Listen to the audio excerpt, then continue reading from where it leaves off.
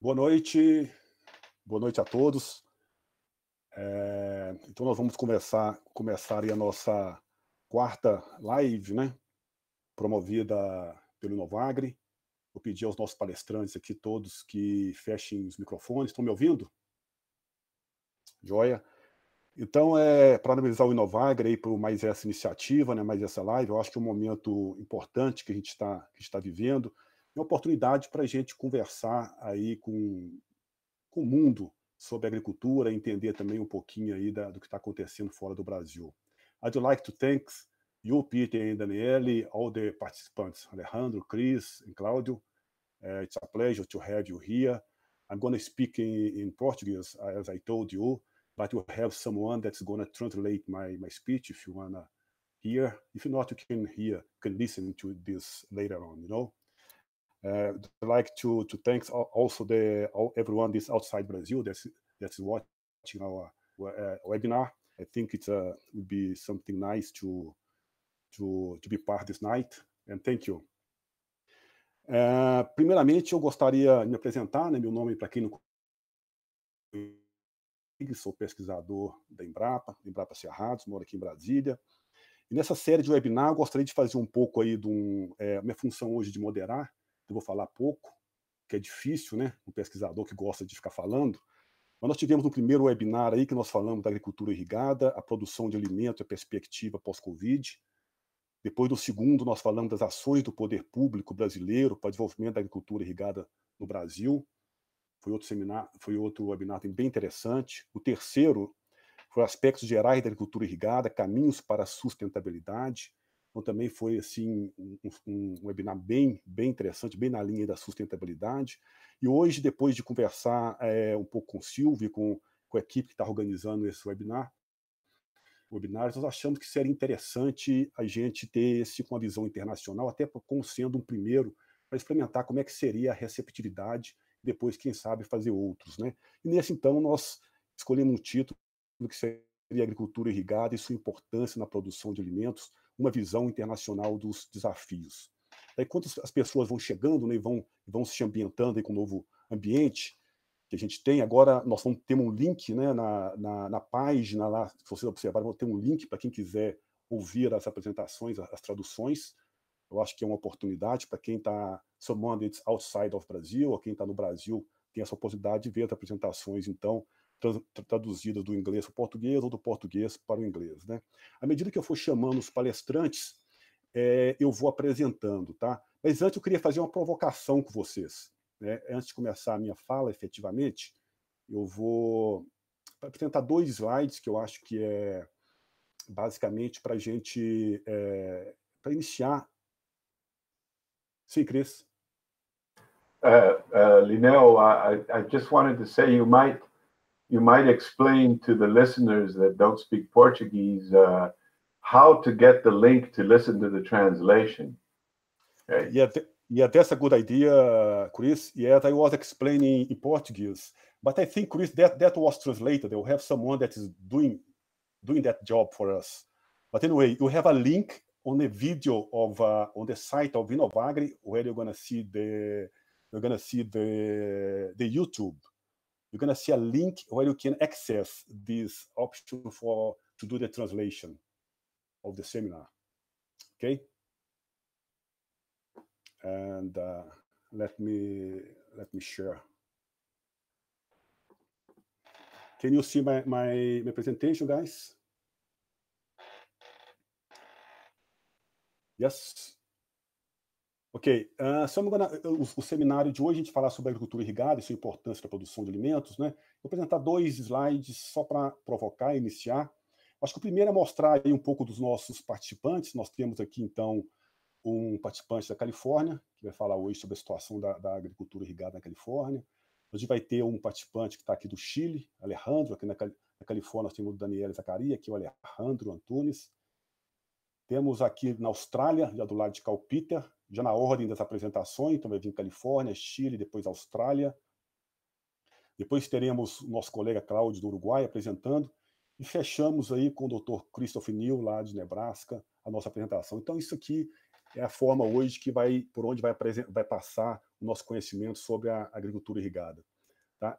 Sempre, sempre o nosso foco, né, é, até hoje, tem sido nessa questão da importância da agricultura irrigada para a produção de alimentos.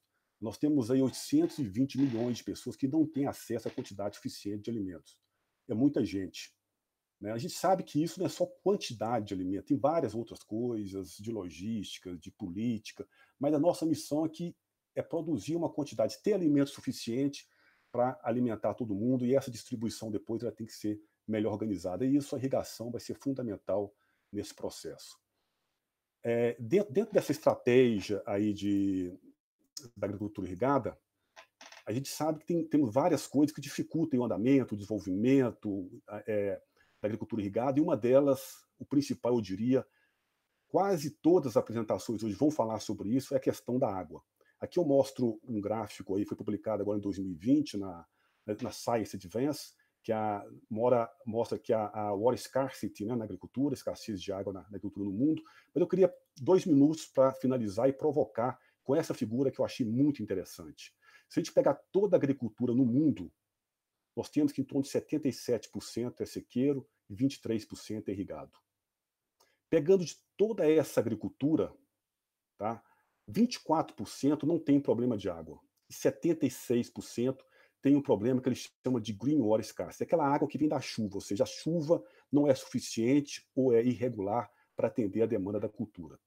Se a gente pegar dessa, dessa quantidade de água, que, dessa região que tem problema com a água da chuva, de 28% a 38% tem problema também de água de rio, que eles chamam de blue water. Então, essa região não tem jeito aqui, realmente, tem que viver com sequeiro, com baixa produtividade. Aqui, nessa parte cá, nós temos a região que tem problema com água de chuva, mas aqui tem água suficiente nos rios. É só irrigar, não tem problema. Em vermelho, nós temos regi aquela região que tem água, mas que já tem conflitos. A água no rio não é suficiente para atender. E a mensagem que eu queria deixar hoje aqui, eu sei que tem muitos gestores assistindo, nós temos gestores, temos estudantes, tem produtores, essa região intermediária, que o pessoal tem chamado aqui de da escassez de água econômica. Aqui é uma região que a gente tem água, só um minuto, é a região que nós temos água suficiente, mas não temos infraestrutura básica para desenvolver agricultura. Então, esta região, tá, que era para parecer aqui um, uma, um círculo aqui, ela é estratégica para a gente desenvolver a agricultura irrigada. Então, essa é a mensagem que eu queria deixar para vocês. Eu finalizo aqui e vou passar a palavra para o primeiro palestrante hoje, que eu vou convidar para falar e se preparar, que é o Daniel Zacarias. O Daniel é especialista em manejo de água na agricultura, tem trabalhado em pesquisa e extensão no Departamento de Terra, Ar e Recursos Hídricos da Universidade da Califórnia, em Davis. Tive a oportunidade de morar em Davis, um lugar realmente espetacular, desenvolvimento de ciência e de agricultura. Ele tem grande experiência em manejo de irrigação em condições de baixa disponibilidade hídrica e também no dimensionamento, análise do desempenho e modernização de sistemas de irrigação em propriedades privadas e períodos de irrigação. Ah, se a gente pegar a Califórnia, ele tem uma área irrigada em torno de 3 milhões de hectares, isso representa 82%, ou seja, a agricultura irrigada representa cerca de 82% é da área agrícola total plantada no país é irrigada. Mas tem mais de 400 tipos de culturas na, Calif na Califórnia. Isso é fantástico, mais de 400 tipos de cultura. Produz mais de 50% das frutas e hortaliças dos Estados Unidos. Mas tem alguns problemas, né? Um deles que eu acho crucial, que a gente vai enfrentar no Brasil, por isso eu acho que a, a palestra do Daniel ela vai ser estratégica, fala que parte da água da agricultura será transferida para o município e para o setor ambiental. É como é que eles estão lidando com essa questão. E como gerenciar a água em um ambiente de grande demanda e regulamentos ambiciosos e rigorosos. Daniele, obrigado por ter aceito o nosso convite. Thank you very much, uh, Daniele. Now uh, I give you the word. It's your time. Enjoy. You know, the public is very diverse, so give your message. Thank you. All right. Thank you very much for uh, inviting me to this uh, interesting um, gathering of people and uh, seminar on irrigated agriculture. I'm going to um, uh, load up my presentation now in uh, uh, just to give you some information and statistics about uh, uh, irrigated agriculture in California. What I would like to do in this 15 minutes is, to give you a statewide overview on the irrigated agriculture and on water management challenges that we are facing in California. And uh, before getting into the uh, the detail, um, I want to uh, you know just uh, give you some background information on uh, cooperative extension of the University of California. So I'm uh, an irrigation specialist, and I'm one of the 130 specialists that the University of California has throughout the entire state. Here you can see uh, uh, some figures and what we normally do. So we are a large network or of researcher and educators that are working together to provide information and science-based information to solve some economic, agricultural, uh, food security and, and nutrition issues uh, in California. And so we have a large uh, army of people um, spread out through the state and we got 130 uh, specialists, uh, 200 uh, locally based farm advisors in the different counties, and we got throughout the state also nine research and extension centers. So you can see uh, there's a there's a lot of uh, um, support to irrigated agriculture and to the uh, economic and agricultural development of the state. This is just uh, just uh, background information. Um, here, I'm going to provide some uh, uh, facts about uh, irrigated agriculture, about uh, California agriculture. Those information are taken from uh, um, a report uh, that is issued every year. This is a California Department of Food and Agriculture report on, on agriculture statistics. So as you can see, um, California agriculture consists of a little bit more than 77,000 farms all in all generate an, um, an industry of 50.3 uh, billion dollars. This is a huge industry, but it counts very little, almost less than 2% on the, uh, the uh, gross domestic uh, product, which is about 3 trillion US uh, dollars. In terms of um, farmland, there are about 10 million hectares of total agricultural land out of which about probably 60% are rain fed in uh, about uh, nearly 4 million hectares of irrigated cropland. Out of this, uh, we got 2.5 million hectares of annual cropland, uh, annual crops in, in 1.3 million hectares of orchards and, and, vineyards. And I'll show you later that orchards and vineyards are increasing in size while the annual crops are, the acreage of the annual crop is shrinking with time. Um, some records, um, as Linneo pointed out, we got almost a little bit more than 400 crops that are grown uh, throughout the state in California is the number one uh, food and agriculture producer in the US and has been um, the number one for more than 50 consecutive years. And about about half of the U, US fruits, nuts, and vegetable um, produced in the U.S. as as uh, generated in California, and and also California is the number one uh, dairy production state in the U.S. Um, here is a, a, breakdown of the entire state in the main agricultural production area, and as you can see, the yellow area, the yellow highlighted area, is what we call the fruit basket of the world, and uh, is the San Joaquin Valley. And the San Joaquin Valley generates alone almost 60% of the total agricultural income of California. Um, here's um, some statistics in terms of water for irrigation. Uh, I converted the, the acre feet into million cubic meter in order to have uh, uh, to give uh, an idea uh, to whoever use uh, metric units. So normally California uses uh, about 26 million cubic meter per year uh, of irrigation. So it diverts from the water sources 26 million cubic meter for irrigation. And the top irrigated um, um, um, uh, acreages, orchards, and vineyards. But I will go into more details. Here's a breakdown of the uh, cash income generated by um, by agriculture divided into the different com uh, commodities.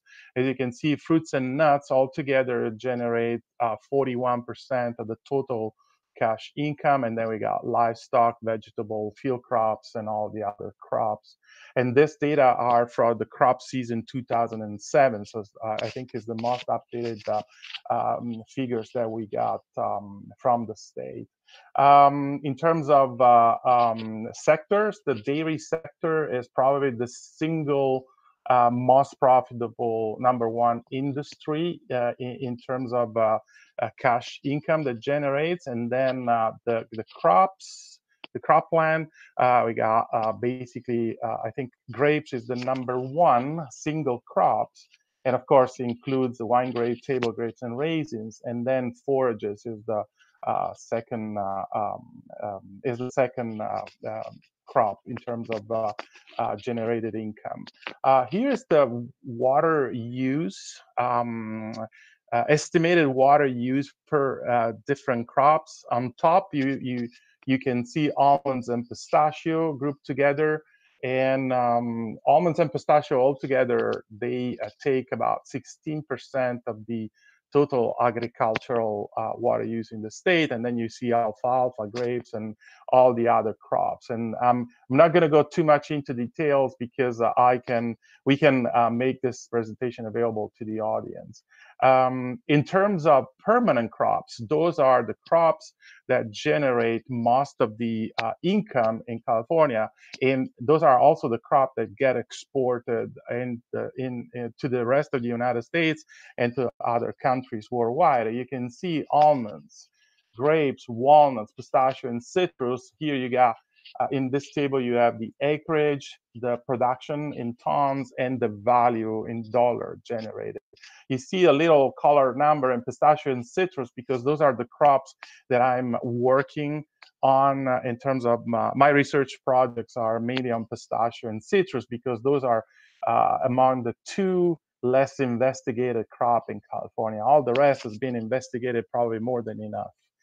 Um, in terms of a trend that we are observing, you see two graphs here.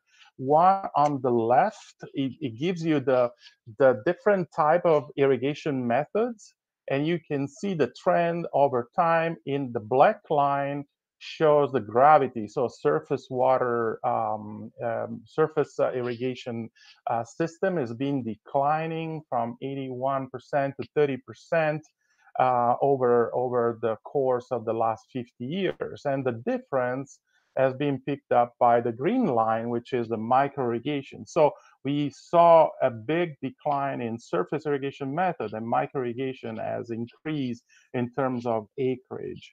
And then the, the, the table on the side uh, shows um, the crops. And so you can see field crops, those are mainly annual crop. They've been declining quite a bit in the last uh, uh, 50 years. And the orchards and vineyards, which are uh, in the uh, green and blue lines, have, have increased quite a bit over the course of the time. So all this trend is somehow um, supported by the state because the water agency and regulators are encouraging a strong um, a strong shift to micro irrigation, thinking that micro irrigation will save a lot of water. So they have this, uh, I don't know, this kind of misconception that once a grower shift to micro irrigation, there's going to be a lot of water saved. And then, um, and this is uh, incentivized with federal and state uh, financial uh, funding. And so all growers can access uh, federal and state uh, funding to move from surface irrigation method to micro irrigation. The farmers usually follow the push, but also they think that the water they can save on one acre can allow them to expand the, the crop acreage because uh, because land is now limited. And so at the end of the story, we have a, what what is called a rebound effect that uh, instead of saving water, conserving water, we have more rigid water demand because uh, farmers invest in uh, in permanent crops, and we have also a, a possibly an increasing water usage. Um, so all this uh, new um, uh, methods of micro irrigation in the, the vineyards and orchard, of course, they require a more frequent, more precise, and I would say even more skilled irrigation management on the farm. Um, in terms of total water uh, figures for the whole state, these are numbers from the Department of Water Resources. This last uh, California Water Plan issued in 2014 so the total water supply on an average year is uh, amounts to 247 million, sorry, billion cubic meter per year. As you can see here in, in the following um, uh, numbers, environmental water use is the number one water users in California.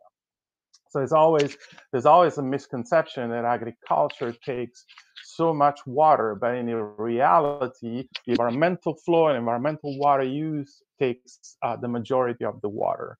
Uh, the urban water use um, combines residential and industrial, uh, take uh, about 10.5, um, and there's uh, some recycled water use that allow a little bit more room, and this is only 7% of the urban water use. So there's a lot of room there for increasing the supply if the technology becomes uh, more uh, reasonably in reasonable in terms of cost. But the total beneficial water use in California is estimated as 99.3 billion cubic meter per year on an average year.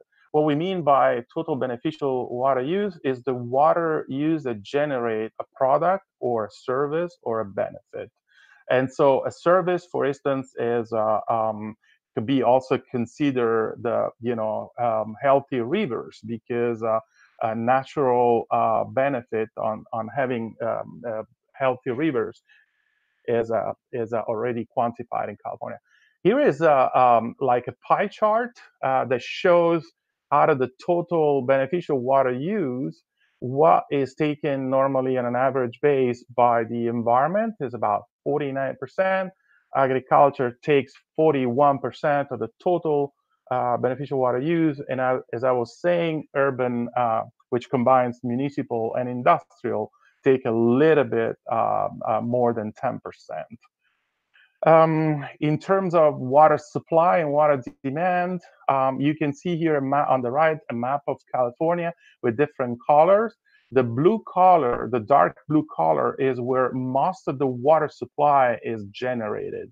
So the northern area of California generates most of the water supply, while the, the majority of water demand happens in the central part of California and the southern part of California. So this means that water me- needs to be moved in time and space, in um, meaning from winter to summer, but also from the north to the center and to the south. And this happens with uh, uh, you know a very kind of articulated water system with a lot of uh, um, water infrastructure consisting of reservoirs that can store the the surface runoff and and the snow melt, and then we got aqueduct that couldn't connect uh, the the surface reservoir to all the other uh, to all the uh, production areas in California, but also the aquifer. Uh, I mean, the the groundwater. Um, it's uh, it's an important water uh, storage and also distribution, natural distribution system, and so it plays uh, as a as a um, on-demand type of distribution system. Um, I now that I gave you a little bit of uh, uh, overview of the state um, wide um, fact about water in California agriculture, I'd like to point out some uh, some challenges that we are uh, seeing we're going to face in the next uh, um, years and probably de- de- decades.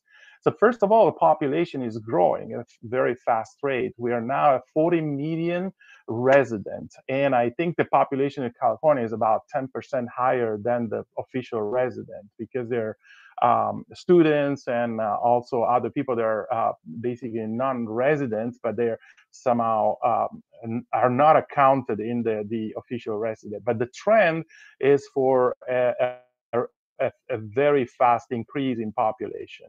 And this has a, a specific implication for uh, in terms of higher demand of food in, in California. So we need to produce more food with the resources that we have in order to feed the growing population. And on the other side, there's also the international market that demands a lot of, and the domestic market for the United States that demands a lot of um, a lot of food that is produced in California.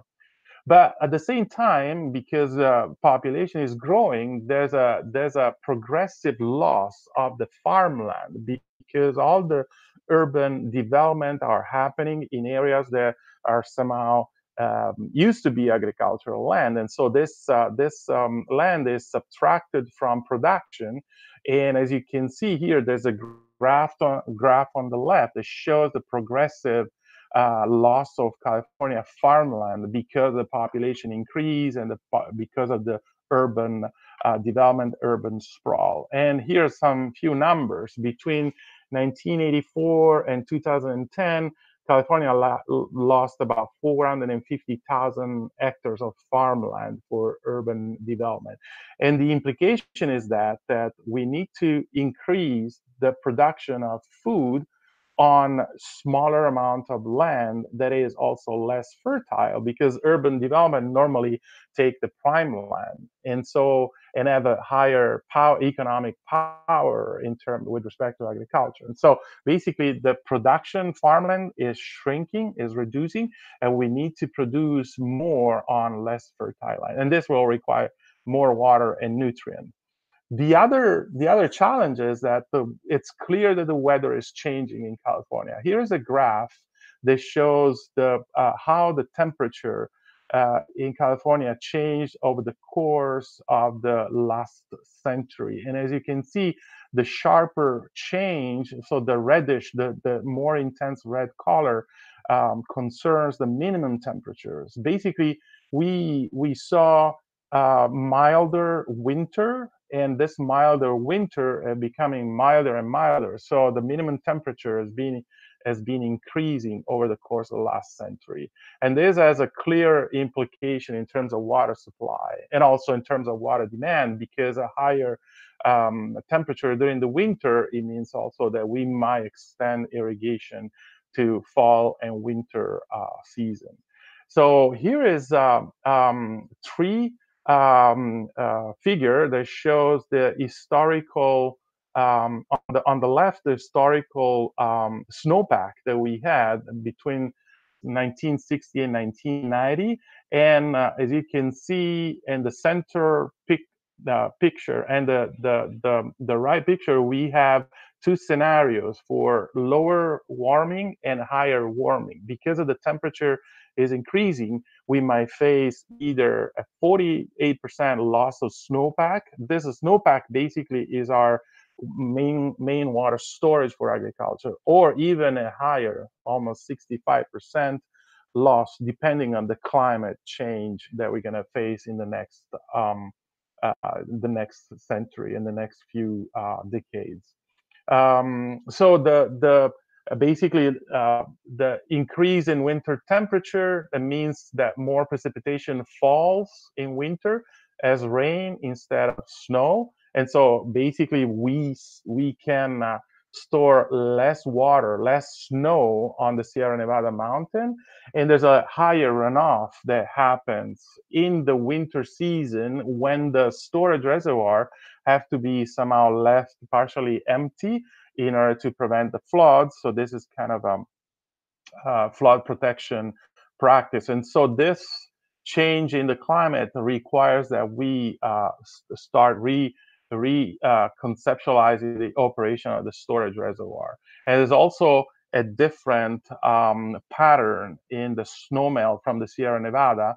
And again, the snowpack is uh, our main water supply. As you can see, in the in the uh, red um, curve, we have the uh, the the uh, the average uh, snow melt over the season uh, in the past, and in the blue line we have the current uh, what we're seeing in the last 50 years. So there's an increase. There's a peak um, snow melt during the, the fall and during the winter months. And so this water, basically this runoff cannot be stored and goes to the ocean. It's basically lost to agriculture. And so this requires really to reinvent the water system, to reconceptualize a water system as it was conceived like a century ago. Um, there's also, besides the climate change, there's, a, there's an enormous swing between one year and the other. Here is, uh, in this graph, I plotted uh, the, uh, the precipitation that is recorded in the Northern Sierra Nevada it's an average of eight station. As you can see, see the green, the green um, curve represent the amount of precipitation that we had in 2016 and 2017, and in the in the blue, the blue area shows the average. So in 2016, we had almost double than the, the, the long-term average in terms of precipitation. So it was a very wet year. And look where we were in 2014 and 15. It was the, the, the last the last period of the drought. We were almost uh, you know one uh, let's say 60% of the long-term average. Today, the blue line show, show the current precipitation, and we are again in drought according to this uh, to this graph. And so this year doesn't look very promising in terms of water supply.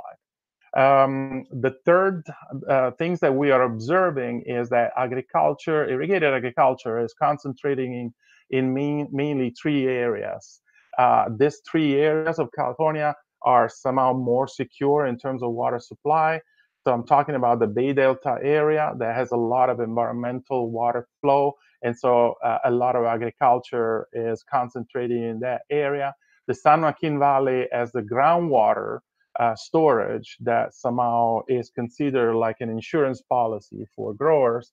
And the, the, the Colorado, um, um, so the Imperial Valley, uh, which is fed by the Colorado River Basin, is another area where water is somehow secure. The three, these three areas produce 35%, more than 35% of the US food only on 1.2% of the US farmland. So basically, agriculture in these three areas is intensifying a lot. So again, we see the conversion from annual to perennial crops, mainly fruits and uh, and vegetable and uh, uh, basically fruit and, and um, fruit orchard and, not orchard and vineyard. We got higher planting density now that require more input of water and more input of nutrient. And again, we seeing a sharp shift from surface irrigation method to micro irrigation and micro sprinkler irrigation. Uh, the state is investing very much uh, funding in this high tech on-farm irrigation is basically micro irrigation. But again, this is generating this rebound effect that happened everywhere else in the world. It happened in Europe, it happened in Australia, it happened in many other countries in the world. So the rebound effect is basically that there's an increase and intensified crop acreage. And uh, finally, at the end of this modernization process, there's a higher in, in, most cases, we have higher water and energy usage instead of water conservation and water saving. And these are a list of uh, the, the things that we're seeing in California. So more um, irrigation demand, and it is becoming unflexible uh, because of the crop that are being planted, mainly uh, vineyards and and and uh, orchards. And there's a, an expanded acreage with high value water demanding crop and uh, there's a larger groundwater extraction um, in uh, and there's salinity build up in the soil and this salinity build up requires a lot of leaching and uh, uh, requires leaching that represent an amount of water that the, the somehow the state uh, agency never consider. Uh, so they consider that micro irrigation saves water but they never consider the leaching that is necessary during the winter and, and spring months in order to flush out the salinity buildup from the soil. Uh, here is uh, the, what happened in the last uh, probably 15 years. Uh, so we saw uh, an increase of 34% in terms of uh, the uh, economic productivity of water. So we moved from an average across all the different crops of $680 per acre foot. I sorry, I forgot to convert this. I think is is converted on top. So we saw, um, um, um, you know, an increase from $0.55 per cubic meter of water to $0.74 per cubic meter of water. And this is a sharp increase in the economic productivity. And this is the result of moving from um, a larger volume type of irrigation, so surface irrigation method, to micro irrigation, so uh, and sprinkler. And so this is a picture of uh, how an orchard will look like when it's surface irrigated. And this is a uh, an orchard um, close by that is micro irrigated. So we got more efficiency in terms of water application and water use.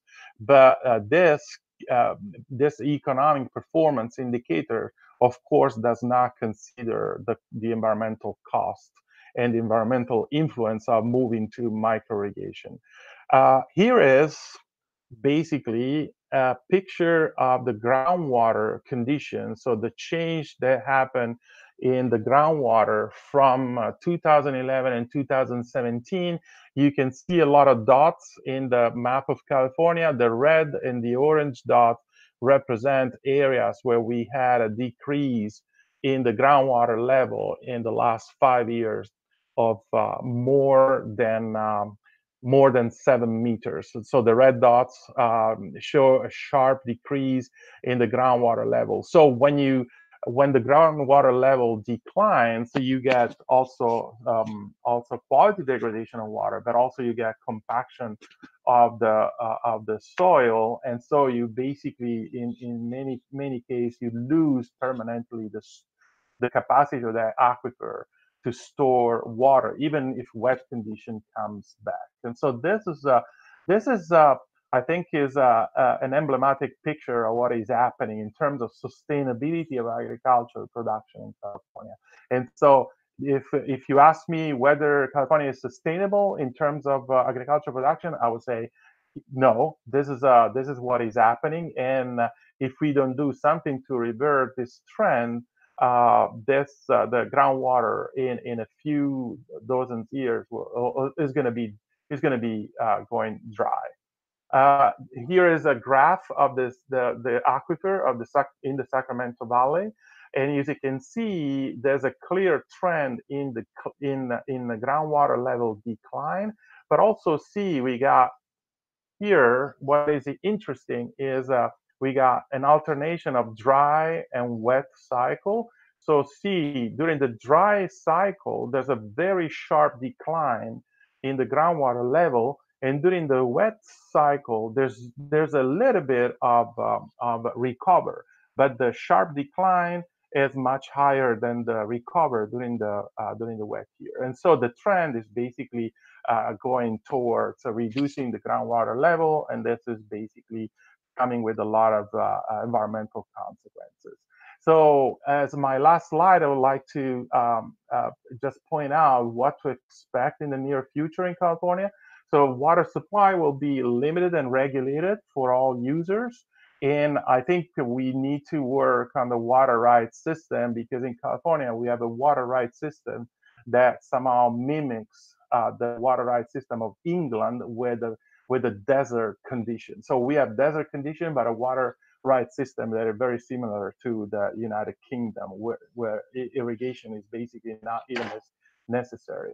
Uh, as a second point, larger shares of water will be transferred from agriculture to urban areas and to the environment because the environment is uh, um, uh, counts a lot in the healthy living of Californians. And the urban as I showed you the urban areas are, are expanding. And climate change is happening. And also the increased weather variability between uh, among the different years will worsen the problem of water supply. And we have we're going to have a um, to face uh, uh, an increased frequency of uh, drought, floods, frost, heat waves, and all those extreme events that somehow create a lot of damage in the agricultural production.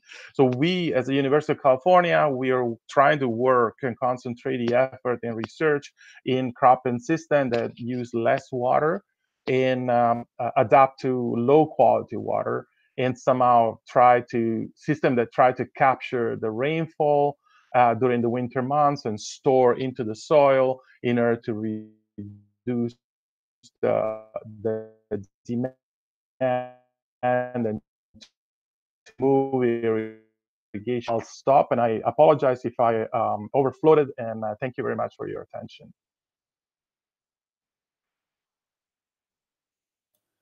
Thank you, Daniele. Thank you very much. Very nice presentation. And uh, I'm to move to the next one. Agora, Daniel, please, could you just uh, uh, stop presenting? So. Yes. Ok. Uh, eu vou chamar o próximo palestrante, meu colega do, do Chile, Alejandro. Right. Uh, a situação no Chile. I did, right? É. No Chile, no Chile nós temos. Yeah, yeah, yeah, thank you. No Chile, nós temos tem uma área irrigada em torno de um milhão de hectares, que representa em torno de 22% da área agrícola, área plantada no Chile. Por falta d'água, né, muito comum também em várias regiões do Brasil, não pode irrigar mais, embora fosse uma, uma vontade. As principais culturas irrigadas lá né, são milho, arroz, aveia, trigo, tem muita fruta também.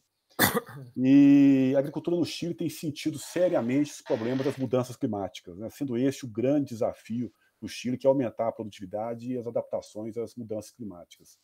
Então, nesse sentido, convido o meu colega Alejandro, tivemos junto no, no Sul. Alejandro é, ele é pesquisador do Instituto de Investigação Agropecuária do Chile, o INEA, como se fosse a, a Embrapa do Chile.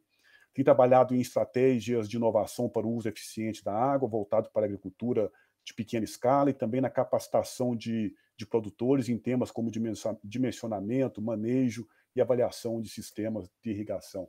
Alejandro, muitas, muitas graças, obrigado pela, por ter aceitado a invitação e a palavra está com você.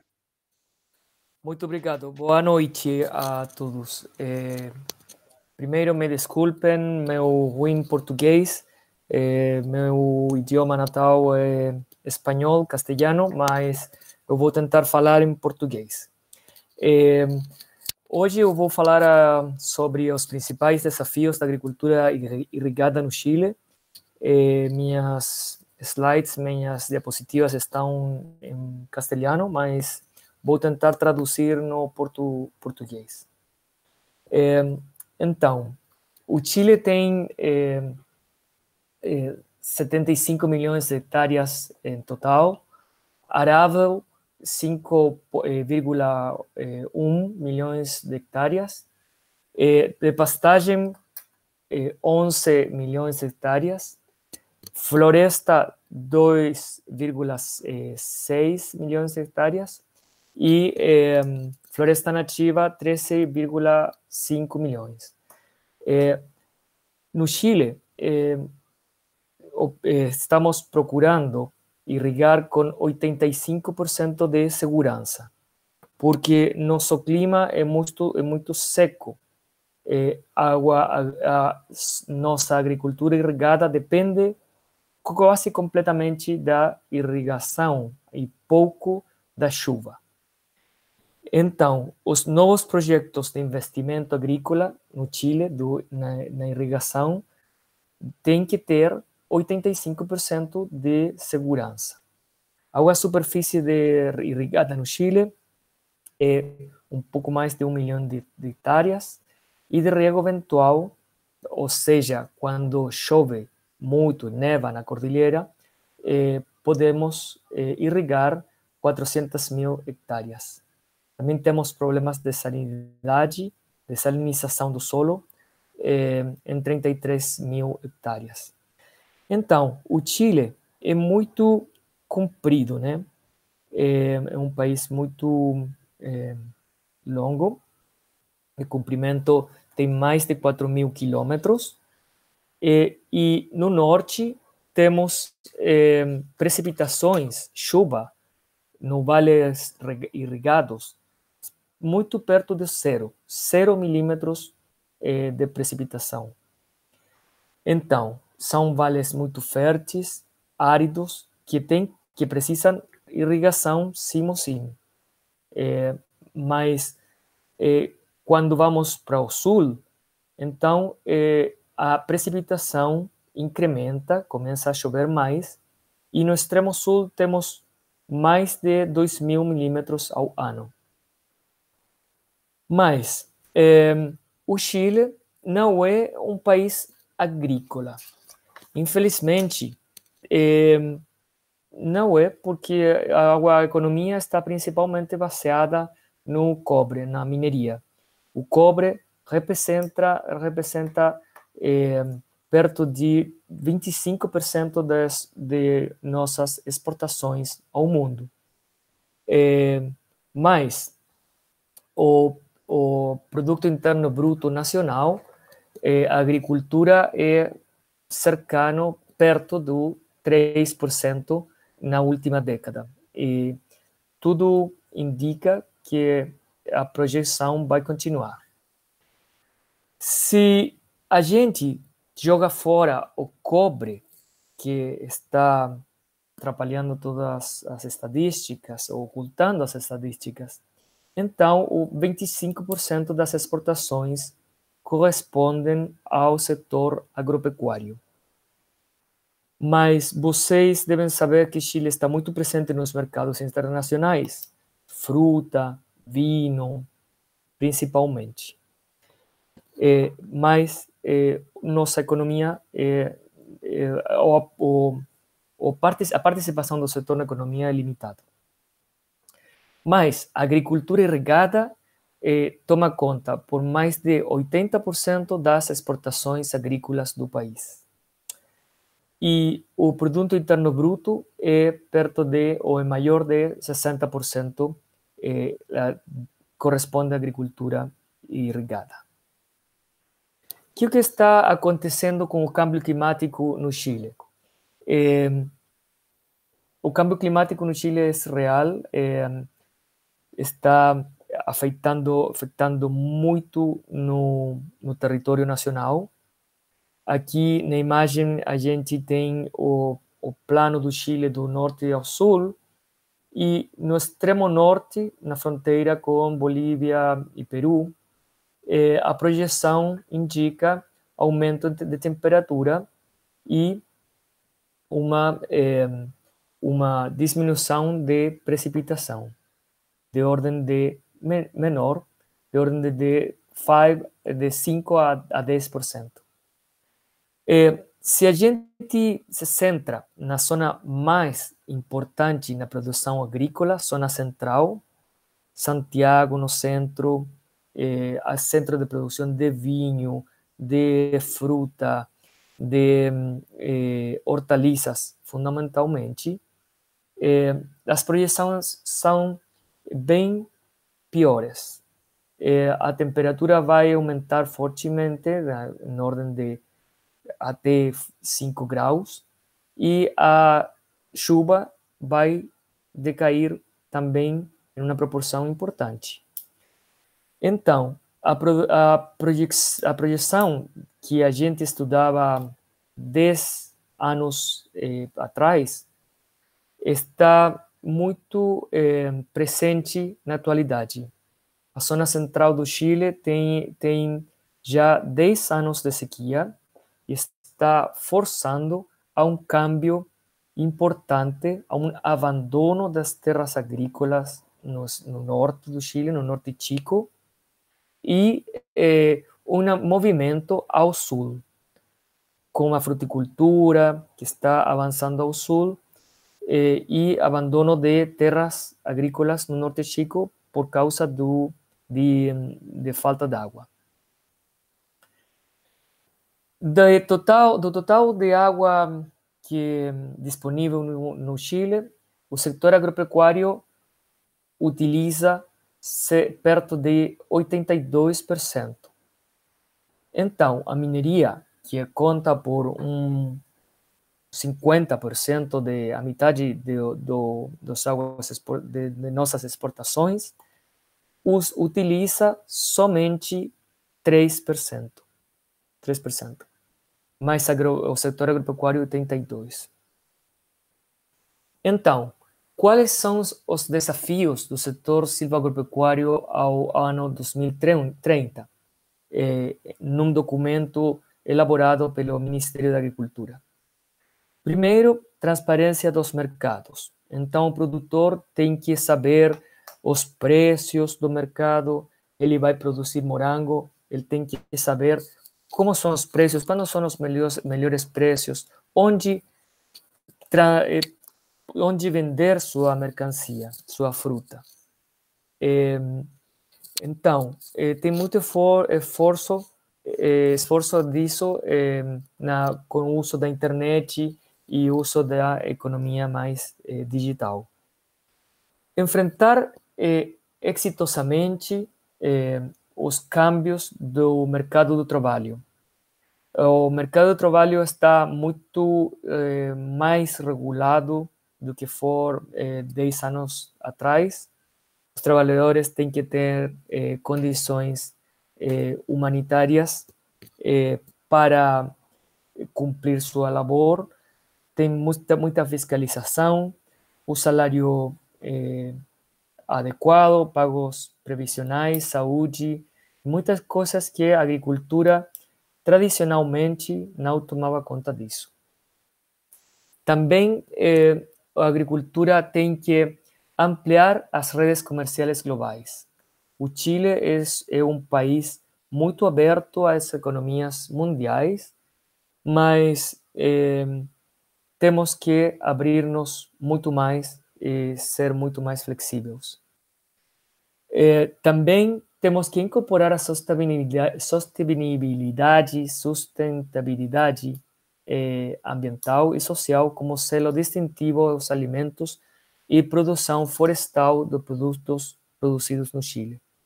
Todas as nossas práticas que a gente pesquisa, transfere, eh, devem ter um selo de sustentabilidade.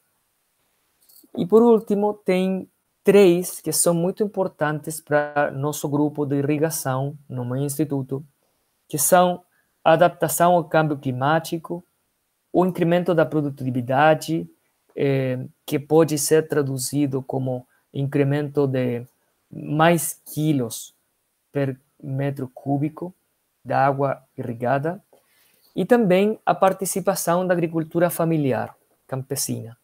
Então, o pequeno produtor tem que ser incorporado na nova, nova tecnologia. O INEA, a INEA é a principal, principal instituição de investigação agropecuária do, do Chile, dependente do Ministério da Agricultura. Foi criada em 1964 e tem cobertura nacional de extremo norte Arica a Magalhães eh, que está no extremo sul, no Estreito de Magalhães. Então, eh, temos presença nacional e estamos nos diferentes eh, climas e regiões tratando de tentando pesquisar e transferir conhecimentos ao agricultor. Quais são, são, são, quais são, são our, so, nossas eh, linhas eh, de, de, de, pesquisa e transferência tecnológica no, no na irrigação no, no INEA Chile? Eh, os três eixos, axes, adaptação ao câmbio climático, eficiência no uso da água e agricultura familiar campesina. Então, vou mostrar eh, alguns, alguns projetos da INEA que han tentado eh, apontar a estes desafios. Então, no extremo norte temos uma agricultura de vale eh, que irrigada, que sem irrigação não, não persiste, obviamente temos zero precipitação, zero chuva. No Vale de, de Utah, temos eh, água que vem da cordilheira, eh, do altiplano, e eh, irriga eh, tomate, eh, hortaliças que vão ser um sustento para a produção ou para o requerimento do zona central de Santiago, da capital. Então, aquele vale tem alta salinidade no solo e na água. No solo pode ter salinidade de ordem de eh, 4 ou 5 decímetros por metro, eh, e água também bem eh, nesse rango, entre 2 e 5, 6 decímetros por metro. Então, a agricultura irrigada no norte tem um desafio de lutar contra a salinidade antrópica provocada pela irrigação inativa, a própria do solo que estamos irrigando. Eh, o ênfase da pesquisa lá é da, lhe dar sustentabilidade à, à agricultura, porque um erro em o manejo da salinidade determina o abandono da terra. Aqui temos outra, outra, outra situação no norte do Chile, no rio Elqui, e temos o, o rio, o, o água, perdão, eh, que está irrigando diferentes, eh, está irrigando citros, mandarina, e a gente eh, pesquisou o nível de salinidade no solo, a diferentes profundidades. E uma coisa que é um padrão comum é, é, o incremento da salinidade, expressada em decímetros per metro, com profundidade do solo. Então, a, a, a irrigação para lixiviar sales que o produtor comumente está é, tentando fazer, vai simplesmente movendo as sais na profundidade. Então, é, temos um problema que está concentrando sais na profundidade do solo. Na zona central do Chile, é, como referência Santiago, a capital, temos uma produção é, muito importante de milho para grão, para produção, para alimentação animal, e temos, infelizmente, uma é, falta de eficiência, uma baixa eficiência de irrigação eh, nos cultivos irrigados por, por sulcos. Aquelas são fotos que eu mesmo tomei no ano, cinco anos atrás, e revela que um, o produtor simplesmente inunda e não usa propriamente os, os sulcos, com uma muita baixa eficiência de irrigação. Então, tivemos um projeto que tomou uma tecnologia desenvolvida na Califórnia muitos anos atrás, eh, irrigação eh, com sul, sulcos usando pulsos. Eh, então, a gente, eh, o Instituto propôs uma tecnologia de eh, nivelação do solo prévio ao estabelecimento do cultivo. Depois, o uso de mangas eh, plásticas que conduzem a água gravitacionalmente. Aqui a água não tem uma, uma bomba de, de, de pressão, mas simplesmente a captação da água está sendo feita no ponto mais alto. E depois eh, importamos essa válvula eh, fabricada nos Estados Unidos que dá um pulso para um setor do, do campo, irriga, corta, irriga outro lado e corta. E assim alterna, alternadamente. É difícil para mim explicar como o sistema de irrigação por pulso, por pulso funciona. No, no, nesta apresentação, mas vocês podem assistir eh, com um vídeo de YouTube que está posto aqui embaixo e ou pesquisando com essas três palavras vão eh, poder ver o vídeo da experiência nossa. Então, um solo franco arenoso a gente comparou eh, todos os as, eventos de irrigação, 10 eventos de irrigação em num, numa cultura de milho com um promédio de eficiência de aplicação tradicional, o que o agricultor faz sempre, que promediou 32%. Quando a gente mudou eh, a, a tecnologia por riego por sulco, eh, com pulso, alcançamos 66% de eficiência. Agora, estas, este número, esta eficiencia, este rango de eficiencia alto en eficiencia por, por surco, en riego por sulco, é muito normal em países desenvolvidos. Na Europa, nos Estados Unidos, é normal alcançar estes números.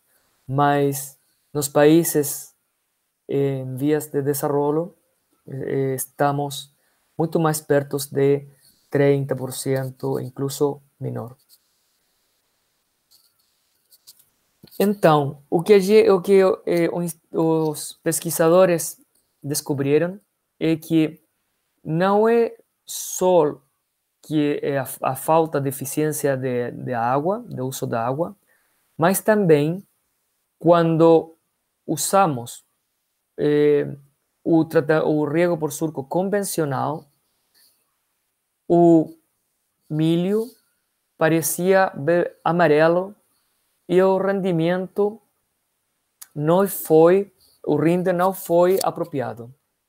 Mas quando irrigamos bem, a cultura aparece verde e com um bom, bom rendimento. Então, eh, os pesquisadores também eh, descobrimos que não é só evidentemente, evidentemente eh, a falta de eficiência da água, de uso da água, mas também o excesso da água, o mal, la, la, a falta de boas práticas de irrigação estão lixiviando o nitrógeno para as napas freáticas. Então, todo o nitrógeno que o agricultor ou muito nitrógeno que o agricultor está eh, aplicando no solo vai terminar na napa freática, contaminando o ambiente e também eh, não ficando na zona eh, das raízes.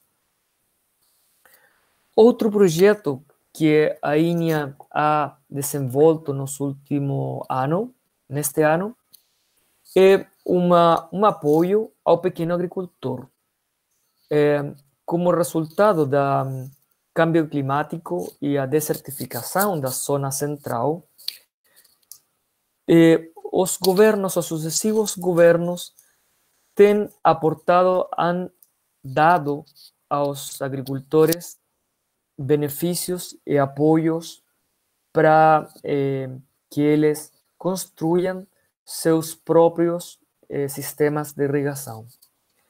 Ou também o desenho e a construção como um paquete, eh, pacote completo. Então, qual é o problema? O problema é que eh, o pequeno agricultor recebe muito feliz os novos sistemas de riego, de irrigação, ele se compromete a usá-lo apropriadamente, mas ele não está capacitado para usá-lo. Ele não está capacitado para enfrentar eh, problemas, reparações, quebras de tuberia, ou ele não está capacitado nem para eh, entender se alguma componente do seu sistema de irrigação não está desenhada propriamente.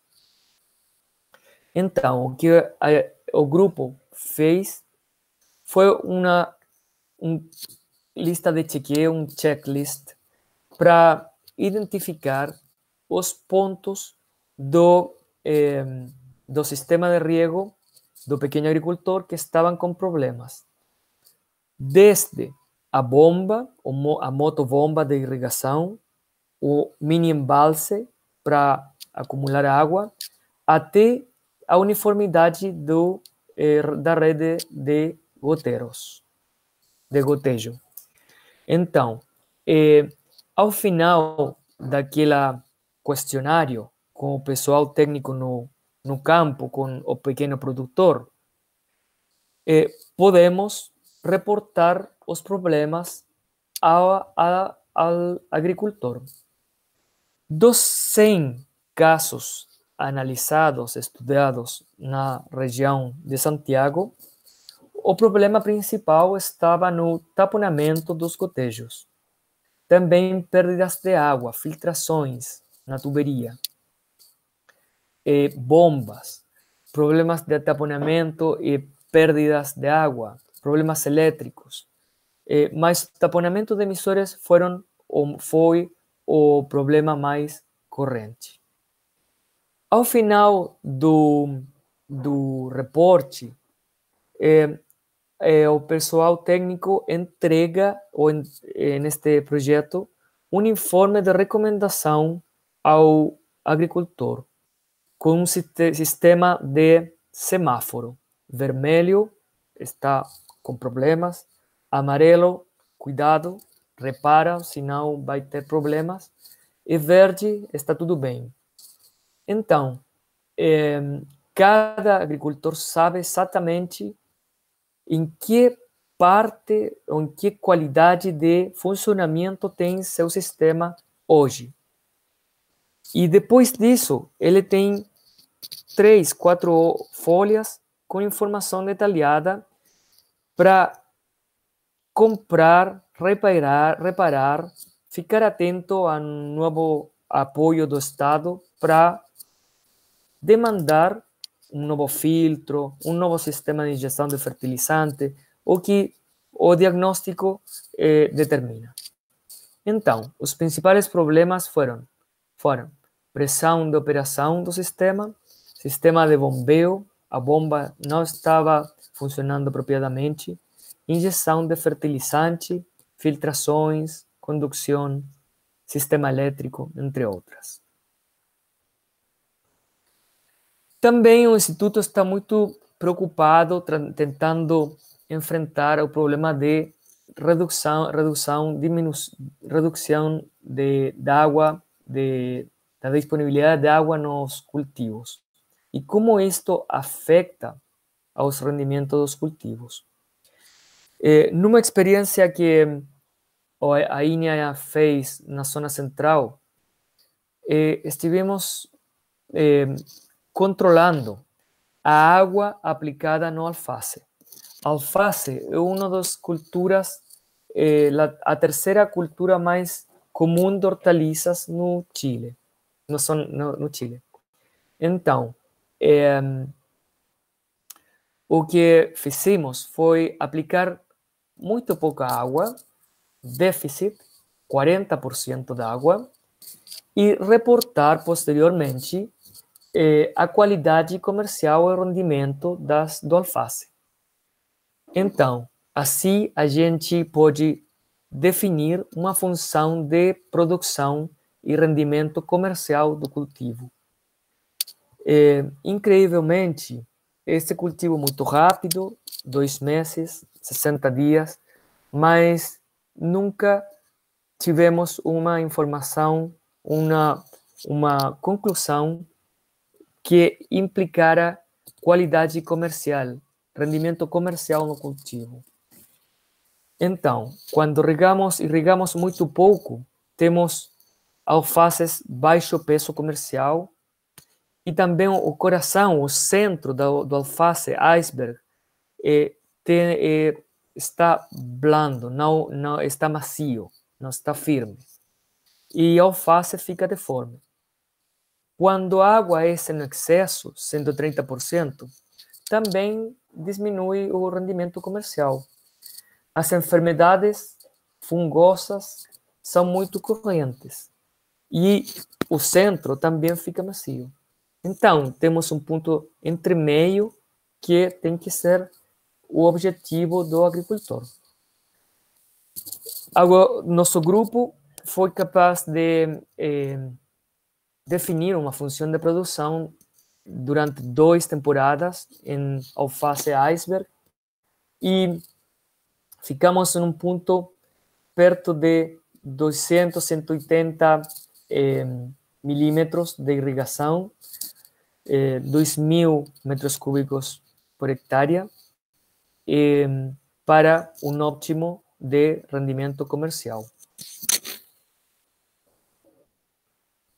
Outra coisa que é outro tema, outro tópico que eh, estamos trabalhando é, são técnicas de ahorro, de poupança, de eh, evapotranspiração em eh, abacate. Os produtores de abacate têm sofrido muito impacto de na redução, na diminuição de água disponível. É, portanto, é preciso reduzir a água aplicada nos cultivos. É, o que é, o grupo é, tenta nesse projeto é pesquisar técnicas que permitam uma produção, uma produção equivalente em quantidade e qualidade, com um volume de água reduzido. Então, é, o que é, faz, comparamos duas técnicas principalmente, é, que são um, um pouco incríveis pela arquitetura do, do abacate, árvores de 6 metros eh, de alto. Eh, instalamos estações micrometeorológicas, eh, uma espécie de teto em, forma de capela, com um filme plástico para cobrir o cultivo de, de de abacate. Então, eh, a pesquisa eh, concluiu que tem um aumento de 2 graus de temperatura máxima baixo a coberta. E também um aumento de 1 grau de temperatura mínima baixo a coberta. Então, esse cultivo, essa cultura de, de abacate no Chile está num clima limite, porque a, a abacate, o abacate é de um clima tropical, subtropical. Mas no Chile está sendo cultivado num clima que tem que estar protegido das, eh, da, das baixas temperaturas. Então, eh, aquela coberta aumentou a temperatura mínima e máxima. Também eh, a umidade relativa aumentou e o vento diminu eh, diminuiu eh, também baixo a coberta. Então, o que aconteceu? A evapotranspiração do, do, da cultura de, de, abaca, abacate, abacate eh, diminuiu em 20% eh, baixo a coberta. Então, a gente pode extrapolar e, eh, e usar, utilizar 20% menos de água nessa cultura se utilizar esta coberta plástica. O problema é que é cara, é uma inversão muito cara. Agora, baixo a coberta e fora a coberta, eh, o pessoal técnico eh, fez um seguimento de eh, os parâmetros da fenologia do da árvore e não encontrou diferenças significativas entre os dois tratamentos. Também eh, comparamos o efeito do teto da eh, espécie de, de capela de plástico com uma técnica muito mais barata de malte plástico sobre o eh, solo. E também nesta técnica, eh, a poupança de de água foi aproximadamente 14%. Então, temos duas, duas técnicas com diferentes custos que vão eh, servindo para eh, poupar água de, de riego, de irrigação. Outro tema que o Instituto também está muito é, vigilante. Sim. Só de lembrar de, do tempo. Perfeito. Me quedan cinco minutos. Então, eh, o, eh, no, na zona sul, temos eh, uma zona muito com muita chuva eh, e o riego, eh, a irrigação é, é, é mínima, é de ordem de 200, 300 milímetros por, por ano. E mais a cultura, a, a, as técnicas de irrigação na zona são muito desconhecidas. Não, o, o agricultor não tem costume de irrigar. Então, o que estamos fazendo é investigar, pesquisar quanta água as espécies forrageiras, cereais, eh, batata precisam para regar nessa zona. E a último, o último tópico que eu vou falar é um projeto que temos na zona norte, na zona de Coquimbo, que está é muito interessante porque está usando imagens satelitais para determinar a demanda de irrigação das culturas. Eles têm trabalhado principalmente com uva de mesa, uva para eh, pisco, eh, um aguardente chileno, eh, também eh, nogales, eh, noces. E então, o que o projeto faz é que o agricultor vai ubicar su, seu prédio exatamente e vai determinar a demanda evapotranspirativa ET sub zero, evapotranspiração eh, de cultivo de referência, no ponto do seu prédio. Então, também o programa entrega a ele uma imagem de eh, NDVI, de Normalized Vegetation Deviation Index. É, então, é, o produtor vai saber quão verde está seu, seu, sua cultura. E o sistema, os pesquisadores estão correlacionando, relacionando aquele verdor que eh, a imagem está pesquisando, medindo, registrando com o coeficiente de cultura para determinar quanta água o cultivo precisa. Este projeto tive um escalamento internacional com a participação de outros países de Latinoamérica.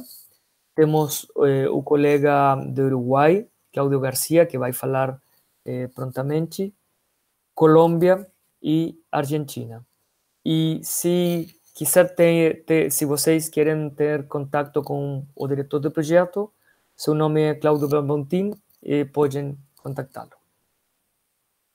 Então, eh, espero que haya entendido minha apresentação. Eh, me desculpem pelo meu, meu ruim português. Muito obrigado. Graças, Alejandro. Graças. Muito, muito bueno, muito bom. Português, português estava claro. Vamos dar, vamos dar sequência.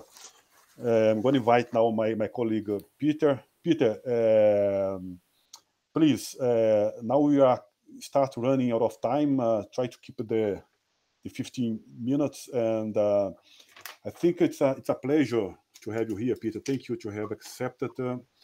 Uh, eu queria falar um pouquinho da, da Austrália, um minuto só, falando é, da, da, área irrigada aí, representando em torno aí de de 2 milhões e 300 mil hectares, né?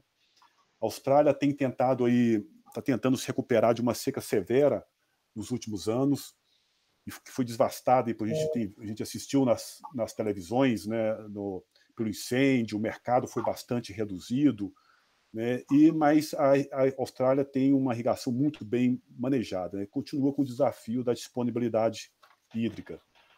Peter, Peter ele, é, ele, foi especialista em irrigação durante mais de 20 anos, né, na Nova Gales do Sul, na Austrália, e agora ele é consultor de irrigação e também atua como membro do Conselho de Certificação de Irrigação na Austrália. Peter, thank you.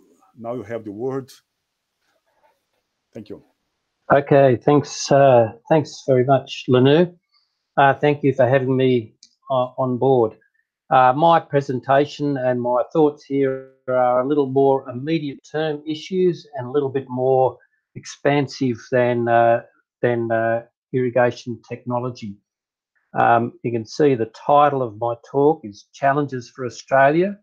Right now, really, water, markets and politics. And I just want to uh, cover some statistics. Will be the first thing. And then I've got six challenges that I've listed there. Uh, lack of access to water, overcoming bushfires, reduced markets, business viability, domestic politics and international politics. So a few statistics. This is from our year 2017-18, the summer period there.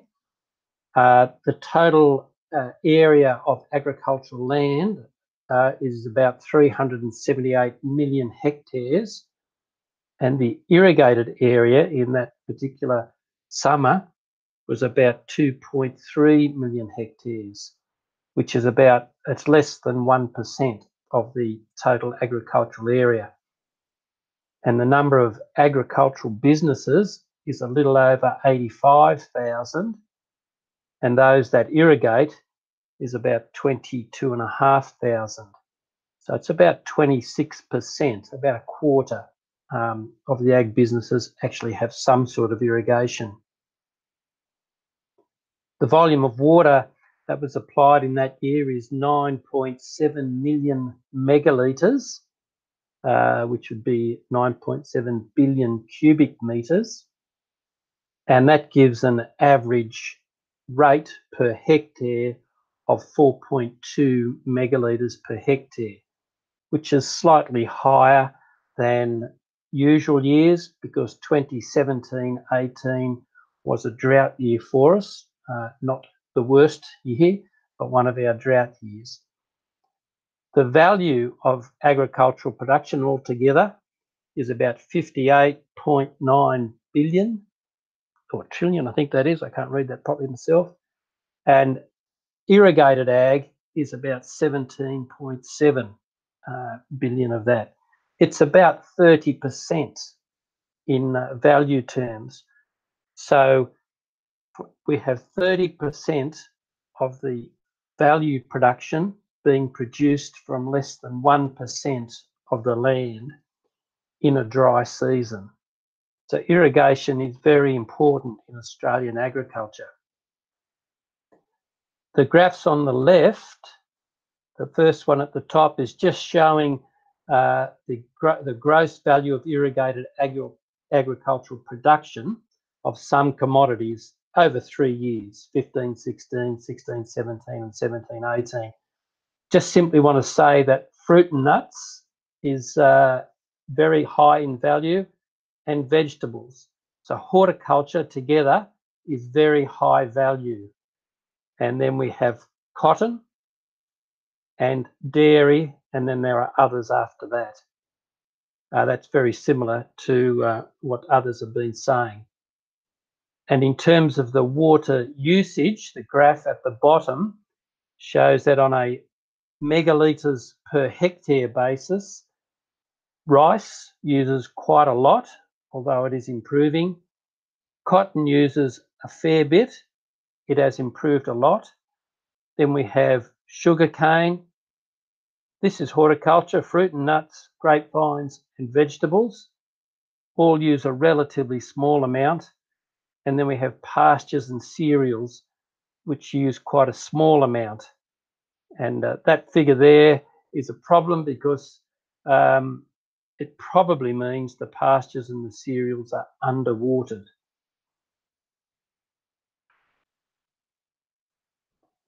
So our first challenge uh, is lack of access to water. We've just been through extreme drought in the years 27 to 2019. And the diagram here of Australia is from the 1st of January 2018 to 31st of December 20, uh, 2019. So that's a 24 month period. And these are the rainfall decile ranges. And you can see the lowest on record is the dark red, and it covers a great deal of our agricultural areas. Very much below average is nearly all of it. In this area here in New South Wales Victoria and southern Queensland is our major irrigation producing areas. So in those 24 months, we've had extremely low rainfall. And it's only just started to correct. This graph on the right is the rainfall deciles from the 1st of February this year to 30th, 30th of April this year. And you can see in the same area, it's above average so far this year. Uh, one place even getting the highest on record.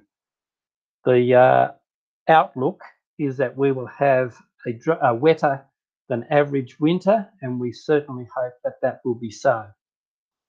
We've had severe bushfires, and they haven't helped because they've dried the landscape even further. I'll show a slide in a minute. And even though we've had good rain um, since January, it's nowhere near enough to correct our problems. Here's uh, showing uh, what the problem the problem is at the moment. We've had very little runoff into the major irrigation dams, and the status of those dams at the moment. This uh, picture on the left shows Australia broken up into drainage divisions, and this one here is the Murray-Darling Basin drainage division, and that's the MDB figure there. It was only about 35% of its uh, water availability is there, or water storage capability is there, which is a very low figure. And some areas have got uh, none, and there's only one that's got quite a high one, and that would be up in the northern areas up here. This volume on the graph to the right is showing accessible volume for the whole of Australia for all of its water, not just irrigation. And here we are in 2020, we're down a long way from where we were a few years ago by about a third. And that significantly is uh, affecting irrigation areas because the irrigation areas are the ones that suffer most loss. So we're in a, a, we've still got a problem now. We're in a drought, and the uh, to show the um, examples, the um, a couple of examples in the southern parts of the Murray-Darling Basin, uh, the storages uh, in January 2012, 2014, 16 declined. We had a wet year, they climbed again rapidly declining, and this is where we are now. And on the right is the graph in the valley that I live, in the Namoi Valley. The orange graph is the small storage supplying our town, and it's showing that figure at the end of 2018 at about 40 to 50%. I can tell you right now it is 13%. And the other two are much bigger storages that supply irrigation water. They were quite full. They have declined. Um, Split Rock is still only around about four or five percent, and Lake Keepit is around about twelve percent now. And that that means in our valley there will be zero allocation for irrigation, and that affects a great deal of productivity. So that's our first uh, problem that we're facing, and uh, the records and the projections are suggesting this kind of thing might become much more frequent. So we're facing a severe lack of water and we must adapt to it. The second challenge I mentioned is the bushfires that we've just had. We always have bushfires of some sort, but not usually as bad as those that we've experienced in the second half of last year. It hasn't affected uh, irrigated agriculture a great deal, but it has affected some areas. For example, the smoke uh, has upset an entire vintage of wines around Canberra. Those that could get a crop uh, still got bad wine. And of course, many were actually burnt out, had their vines burnt out. And with livestock producers, a lot of livestock was sold off to abattoirs or were lost in the fires. And that means some genetic lines have been lost. There's a lot of work gone into that that now has to start again. And we also had uh, the very bad drought meant there was very little feed around for the grazing industries. They were buying in food very expensively from all over the country. The rain, little bits of rain produced some pasture, and of course, where the bushfires were, burnt all the pasture and burnt a lot of the, the uh, purchased feed. So that's made the situation extremely difficult. The third challenge that we're facing in a general sense, and it will very much affect our irrigated production, is COVID 19 and um, the effect it's having on the markets.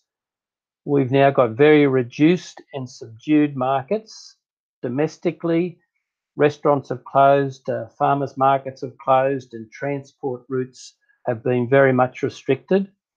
I'm guessing that's similar to most countries but it has been devastating for many of the uh, the um, irrigated producers.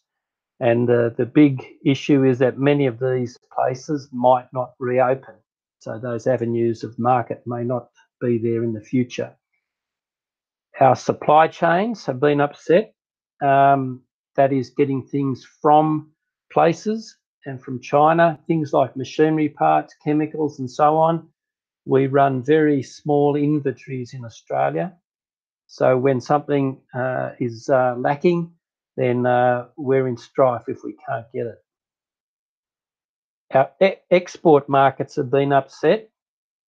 The food health issues and the transport restrictions have uh, factored in there, especially to Asia, which is our one of our big markets. And we've also got a little bit of uh, politics going on over accusations about where COVID 19 started. And that's, uh, uh, there's been threats they might reduce more of our um, uh, imports of our uh, agricultural produce.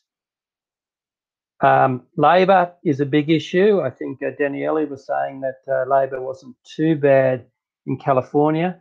For us, it's been uh, quite dramatic uh, labour getting around our country, which is not uh, densely populated. Movements have been restricted, and very significantly in the horticulture and intensive industries, we rely on backpackers and overseas um, visitors, and they have not been able to come, or if they're here, they haven't been able to move.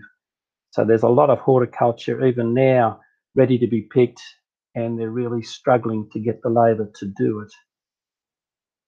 And our Agricultural uh, Economics Bureau um, uh, says that the impact on global markets is likely not to be an absolute cut-off. So we're hoping that they will reopen to some degree for us because we are a major exporter.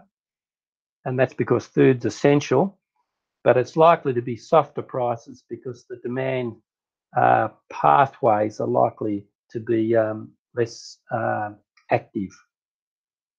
And there's also concerns of maybe second and third wave COVID uh, impacts, which could upset everything again. And uh, that's a real problem because our markets are all in somewhat of a dis of disarray. And that leads on a bit to business viability. The due to the drought and the bushfires, uh, farm cash income has been significantly reduced. This uh, map shows reductions of greater of 25 percentile categories, and in our in the major production areas of New South Wales, South Australia, Southern Queensland, um, compared to the last 10 years, most have suffered a reduction of um, cash income more of 25% or more. There are a lot of farm businesses that are uh, on the edge, and this on the right is just a um, a news item that was in the paper two days ago. Namoi Cotton is a well-established marketer and um, processor of cotton, and they're restructuring for the second time. They've had an $11 million loss just in the last 12 months. Uh, the harvest of cotton overall this year is likely to be 17% of the average. And for these guys in particular, they ginned only 450,000 bales last year when the year before it was 1.2 million. And they think they might only get 50,000 bales out of this year's harvest. And that puts that business um, in jeopardy. And there's quite a lot of other agricultural businesses, both on farm and uh, down the, the processing and uh, delivery chains that uh, are uh, possibly unviable. And if we lose them, that will have a big impact on our irrigated agriculture. On top of that, we've got our domestic politics.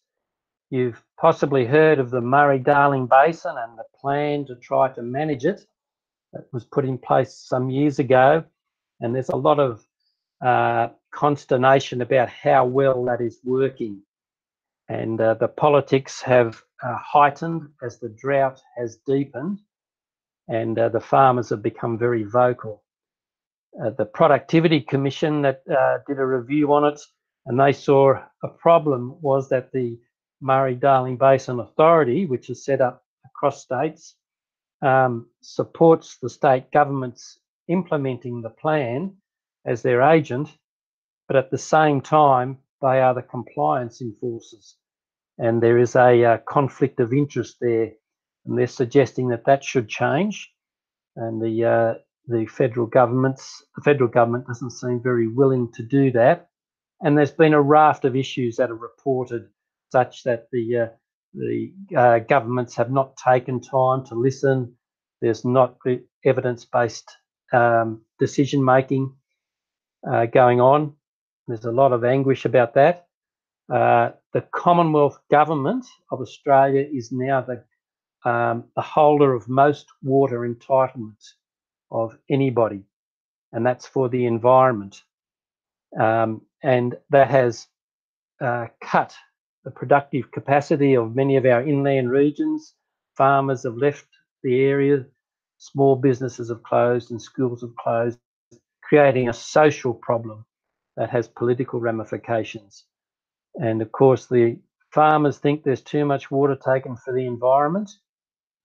And one of the issues, which is part and parcel of the um, our water reform process, is the ability to trade water and water that was used for staples like rice, pastures, cereals, has been traded further downstream down the Murray-Darling system into horticultural crops which are expanding at a great rate almonds, citrus, and grapes.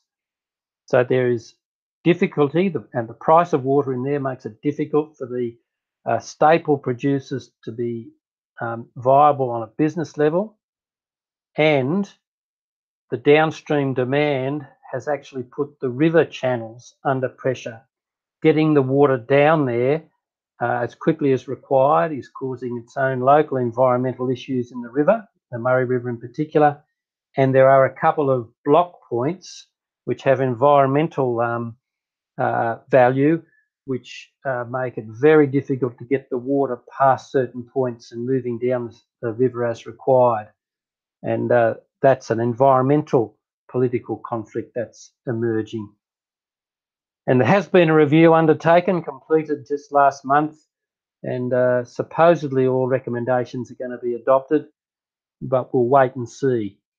Um, if the Murray Darling Basin Plan is overturned, as some farmers want, that could set our irrigation uh, uh, world and productivity back quite uh, quite a lot. Once again. And the last challenge I'll mention very briefly is our international po politics. I mentioned that we are a major exporter of food. About 70% of our ag production is exported. And right now we have China and USA engaged in a trade war. It might be good for us in the short term because of the tariffs that are applied, but in the long term, those tariffs will probably be a problem. and uh, we might have to play the tariff game ourselves. Ourselves, and at the moment, we've also got our own tensions with China, as I mentioned about COVID. But there's always some awkward tensions going on. About a quarter of our exports go to China, and uh, we're not sure how that might pan out in itself. It'll depend on the trade war with China, USA, and on what happens with the COVID uh, ructions. And just last slide on the uh, one effect or a couple of effects of the challenges is that our irrigation efficiency in Australia has been improving. Now, this is over quite some years because we've experienced uh, drought quite a bit. And uh, just a couple of examples for cotton on the right here, the whole farm irrigation efficiency back in 1998, overall, the average was about 50%. And in recent times, it's up to about 80%. And most of that is surface irrigation. So we've got uh, had great advances in irrigation efficiency with our uh, surface irrigation. And in terms of the megalitres required to produce a bale of cotton, that has reduced, as you would expect, quite dramatically. Um, so that's uh, an example of improve, improving efficiency.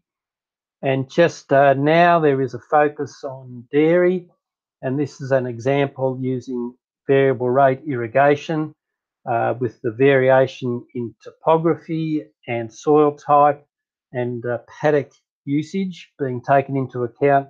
And just one example shows a 34% reduction in the irrigation water requirement, which is about two megalitres per hectare. And we've been working at this for a while. So a question I have is how much better can we really get at our irrigation efficiency? There's a point where that will become seriously uneconomic and um, we need to grow more from less, but uh, how far can we really go is a question I have. And that's the end of my presentation. Thanks, Lanu. Peter, thank you very much. Uh, and uh, I'm going to call here immediately my colleague Claudio. Thank you, Peter. Cláudio, uh, vou, vou, te pedir para. Se o microfone está fechado, para atentar para o tempo, é, tentar manter dentro, dentro do tempo. Perfeito. Cláudio, Cláudio é, é, pesquisador do Instituto Nacional de Investigação da Pecuária do Uruguai. Ele tem trabalhado nos últimos anos no manejo e programação de irrigação por superfície, aspersão, nas culturas de cana-de-açúcar, soja, pastagem. Cláudio, passo a palavra para você. É, atento para o tempo. E depois nós vamos para a última apresentação do Cris. E aí a gente fecha. Tenho que compartilhar, não?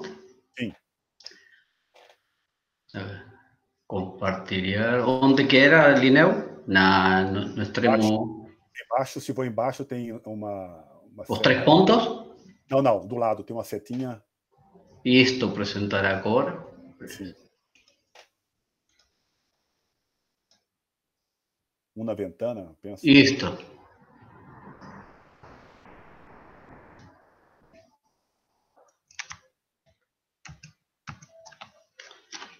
Isto, tem que colocar no modo apresentação. Isto, isto.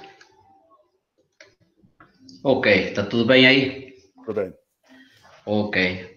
Bom, vamos tentar fazer isto em, em 15 minutos, como foi acordado. Eh, primeiro, primeiro que nada, parabenizar o, o Alineu e, através teu, a toda a equipe que, que ajudou para que este eh, webinar eh, saísse na frente e agradecer muito minha participação neste, neste evento. Vamos tentar eh, que seja o melhor possível em português, uh, aunque faz muito tempo que não, temos, não batemos um papo com, com o Lineu, mas vamos na frente. A minha apresentação é, é uma alternativa, se a irrigação na agropecuária no Uruguai é alternativa para nós, e um pouco para contextualizar os desafios que nós temos para, para responder a essa pergunta, trouxe aqui algumas, eh, algumas eh, partes da introdução e dados como para fazer um debate, principalmente para a gente do, que não conhece o contexto do, do país no, no meio da região e no mundo, o Uruguai tem um, um tamanho que é a metade do, do estado do Rio Grande do Sul, para ter uma ideia, para, para os amigos brasileiros, e tem a terceira parte da população do Rio Grande. E toda a produção, tanto pecuária como agrícola, é principalmente de sequeiro, é muito, muito pouco área eh, que se irriga. E temos um outro problema que é a alta variabilidade das precipitações. Aqui no, eh, no Uruguai não tem, não tem uma, uma estação marcada de, de chuvas, nem estação marcada de seca. Chove quando quer e, e a quantidade que quer. Não, é muito difícil a previsão e agora vou mostrar alguns de, desses dados. E na parte internacional, um pouco para que os, os amigos dos outros países tenham o que aqui trouxe para mostrar o que é a população em os outros países, quanto é a cabeça de gado, estes são dados de 2016, que eu encontrei na literatura, e qual é a relação entre cabeça de gado e população. E vejam só aqui que nós temos quase três, três cabeças de gado por cada habitante no país. Ou seja, para nós, a produção de, de, de, de gado de corte é muito, muito importante, muito importante. E quando é gado de corte que nós falamos, também falamos de pastagem, porque toda a, a base alimentaria que tem o gado de corte é a base de, de pastagem natural, principalmente, quase um, um 90% da área é, é pastagem nativa e muito pouca área de, de pastagem artificial. Então, toda a base forrageira é muito importante para poder produzir esse, essa carne para exportação. É um pouco o que acontece com o nosso clima. Esses são dados que nós temos do, Uruguai de, dos últimos 47 anos, do ano 1972 até o 2019. E aqui mostra através do, do, do ano eh, desde, desde junio hasta mayo. Y, y barras pretas a precipitación, esa precipitación media, media acumulada y un desvío estándar típico, y a evapotranspiración con su desvío típico.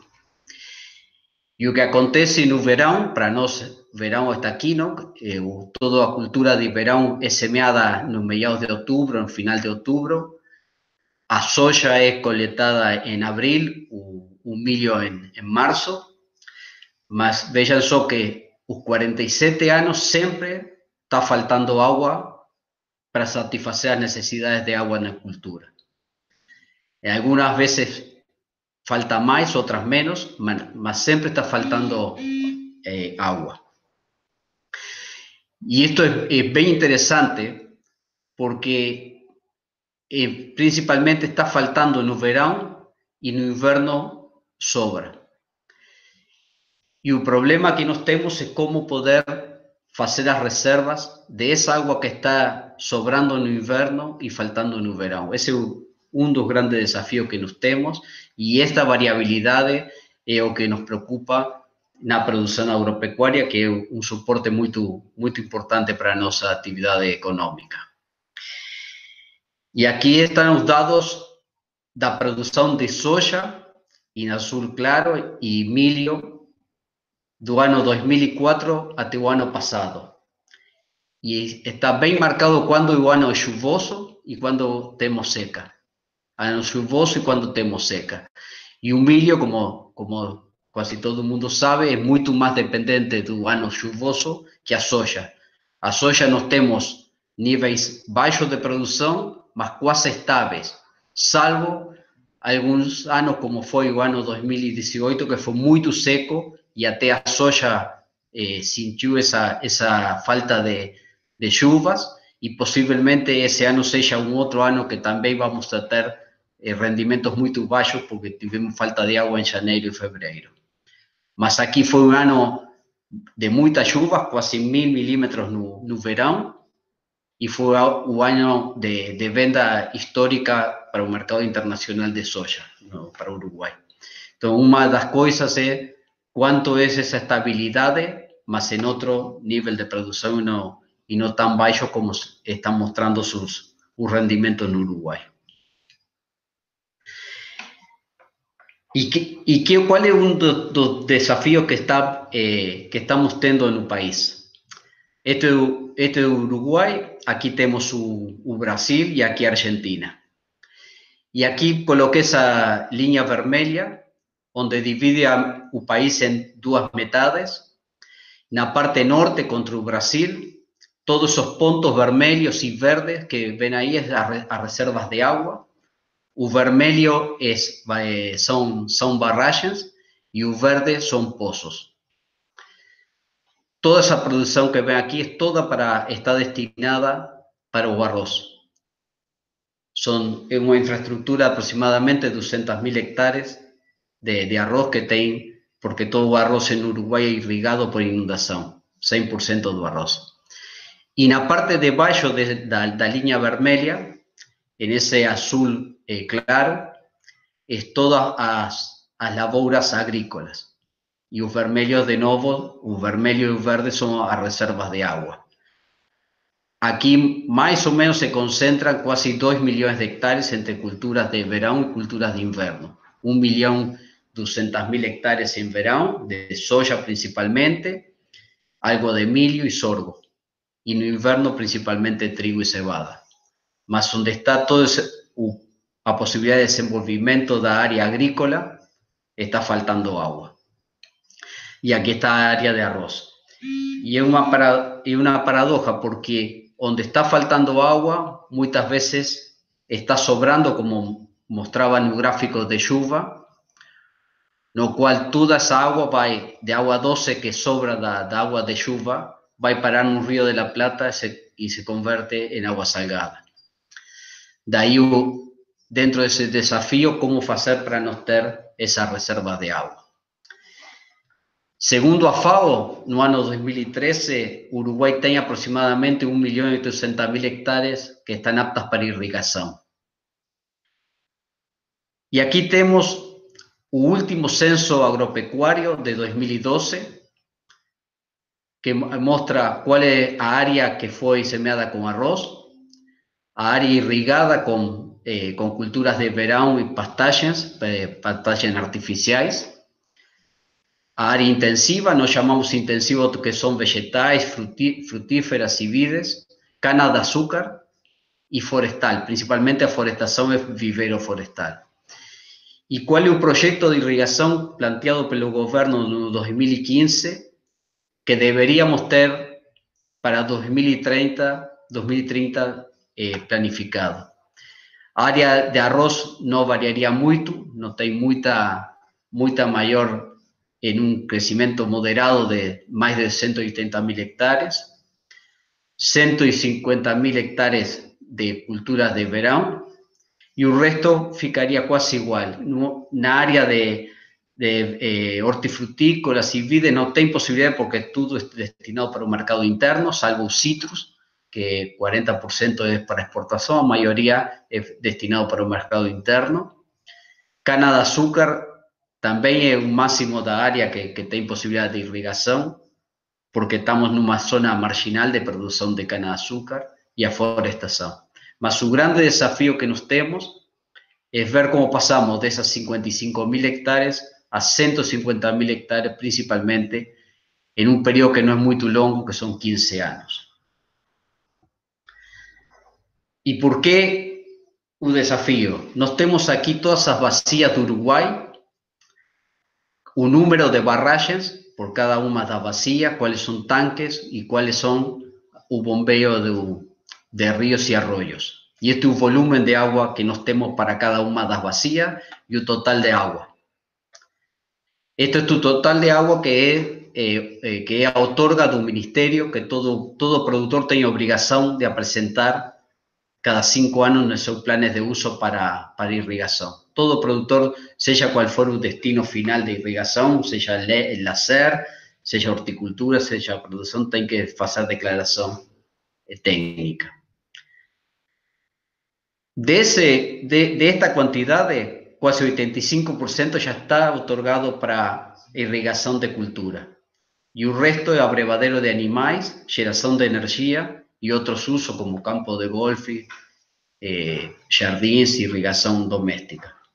Entonces, no tenemos más agua reservada en Uruguay como para ese crecimiento. O desafio mais importante que se planteou nas instituições públicas, o Ministério, assim também com o apoio da, da, de pesquisa y de educación foi un aumento de reservas de agua para toda essa produção agrícola ganadera y un investimento que foi estimado era de 22 milhões de dólares anuais, con un incremento que podría ser de 70 millones. O problema desto é o investimento, nada menos ni nada máis que o investimento. Mas o desafio é aumentar essas reservas de água. O lugar é, tem, eh, todo mundo sabe, o Uruguai não tem, não tem grandes, grandes este, regiões reservas eficientes, mas temos que fazer reservas se queremos chegar a aumentar essa área de, de agrícola o, o de gado de corte para irrigar. ¿Y por qué esa, ese aumento de reserva que se insiste? Porque un resultado de pesquisas, estos son cuatro años de pesquisa de universidades do, ingeniero Jiménez, dice que eh, es un parte de, resultados de su tesis de doctorado, eh, unos cuatro años con milho de irrigado contra Emilio de Sequeiro, él tiene una, media de cuatro años de unos 4.500 kilos. Cuando no hay irrigado, o sea, dependiendo soda agua de lluvia, y cuando él es irrigado, satisfaciendo a demanda, a máxima demanda, él tiene un potencial de, de producción de 13.000 kilos por hectárea. Entonces aquí tenemos Claro, solamente son cuatro años de pesquisa. A, pesquisa en Uruguay no, hay muy, data. Comenzó eh, un trabajo más fuerte en pesquisa y continuo, comenzó en los años 2005, 2007. Y estos son los primeros resultados que están saliendo. También en soya tenemos otros resultados de pesquisadores de Uña, de Álvaro Otero, también de Jiménez de Facultad de Agronomía, donde a media en secano, sequeiro, que mostraba hoy anda na faixa de 2.400, 2.500 quilos com uma variabilidade segundo o verão com, com chuva.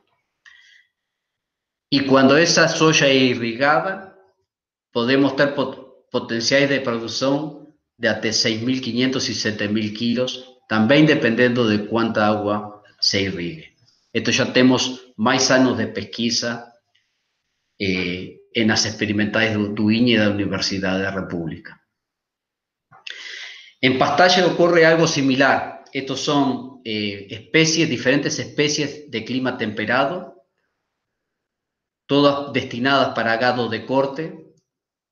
Son ocho años de producción de, un mismo experimento de largo plazo. Eso, este es un, campo experimental que tiene, que tiene un, secretario uruguayo de, de este es el primer año de producción, son tres especies diferentes, y la media los ocho años es de aproximadamente 13 toneladas de materia seca, que esto convertido después a kilos de carne por hectárea, da aproximadamente unos 800 kilos de carne por hectárea.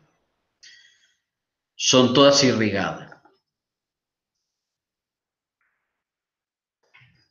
Su problema es que tenemos pocos años de pesquisa. Entonces, el segundo desafío es mantener esos, esos experimentos de largo plazo para ayudar a, una mejor ayuda en la, tomada de decisiones para los productores, pero también para los tomadores de decisión en la política. Las políticas públicas que son los que en definitiva dirigen los, los préstamos para los productores y dónde colocar ese dinero, si en fuentes de agua, si en, si en animales o en qué tipo de, reservas eh, les pueden escolear.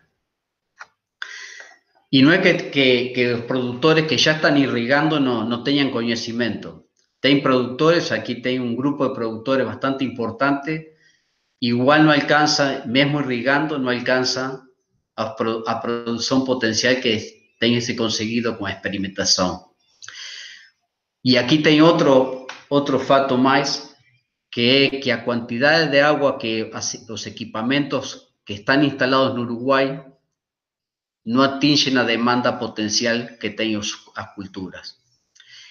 Y esto es por un tema de, de custo en que eh, las equipes no llegan a dar toda a, capacidad de que precisa. Si, por ejemplo, precisar 8 9 milímetros por día, es muy difícil conseguir una máquina, un pivot central que en, Uruguay consiga dar esa lámina eh, de agua. Eso por un tema de custo, porque es muy difícil convencer a un productor donde tem verão que lloven hasta 1000 milímetros convencer de que precisa irrigação. Mas a pesquisa tem demostrado que todos os anos, por mais que chova, algo de, de, de irrigação precisa como para atingir estes rendimentos potenciais eh, tão altos. E tem alguns produtores que chegam a. Estos são resultados de, produtores eh, que têm conseguido eh, rendimentos bons y diferenciado con un sequeiro.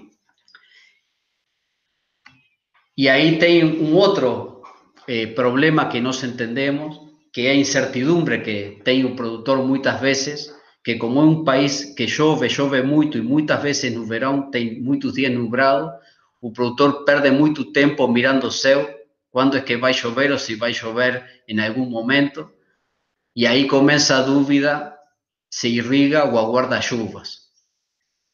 Y otro problema que nos vemos que es a falta de criterio de manejo de irrigación. Muchas veces su productor tiene un, criterio de ensequeiro, mas no tiene un criterio de cómo, cómo irrigar esa cultura cuando tenga necesidad de irrigación. Y ahí que Uiña, en los últimos cinco años, ha desenvolvido un programa de gestión inteligente de, de irrigación que es mediante un balance hídrico bien simple con monitoreo en tiempo real del suelo y la cultura. Hoy tenemos herramientas tecnológicas muy potentes y de fácil accesibilidad. Y UIña tem dejado, en base al conocimiento de, de, de años de pesquisa, en base Aunque que productor produtor nós temos todo todo o, mapeamento do, do país, então é muito fácil para o productor se loguear e colocar su, su lavoura no, na internet que tra, traz com ele todo un solo y todo un polígono do, do prédio. De ahí ele tem a chance de colocar seu, seu solo o colocar un solo patrón que está ya en la base de datos.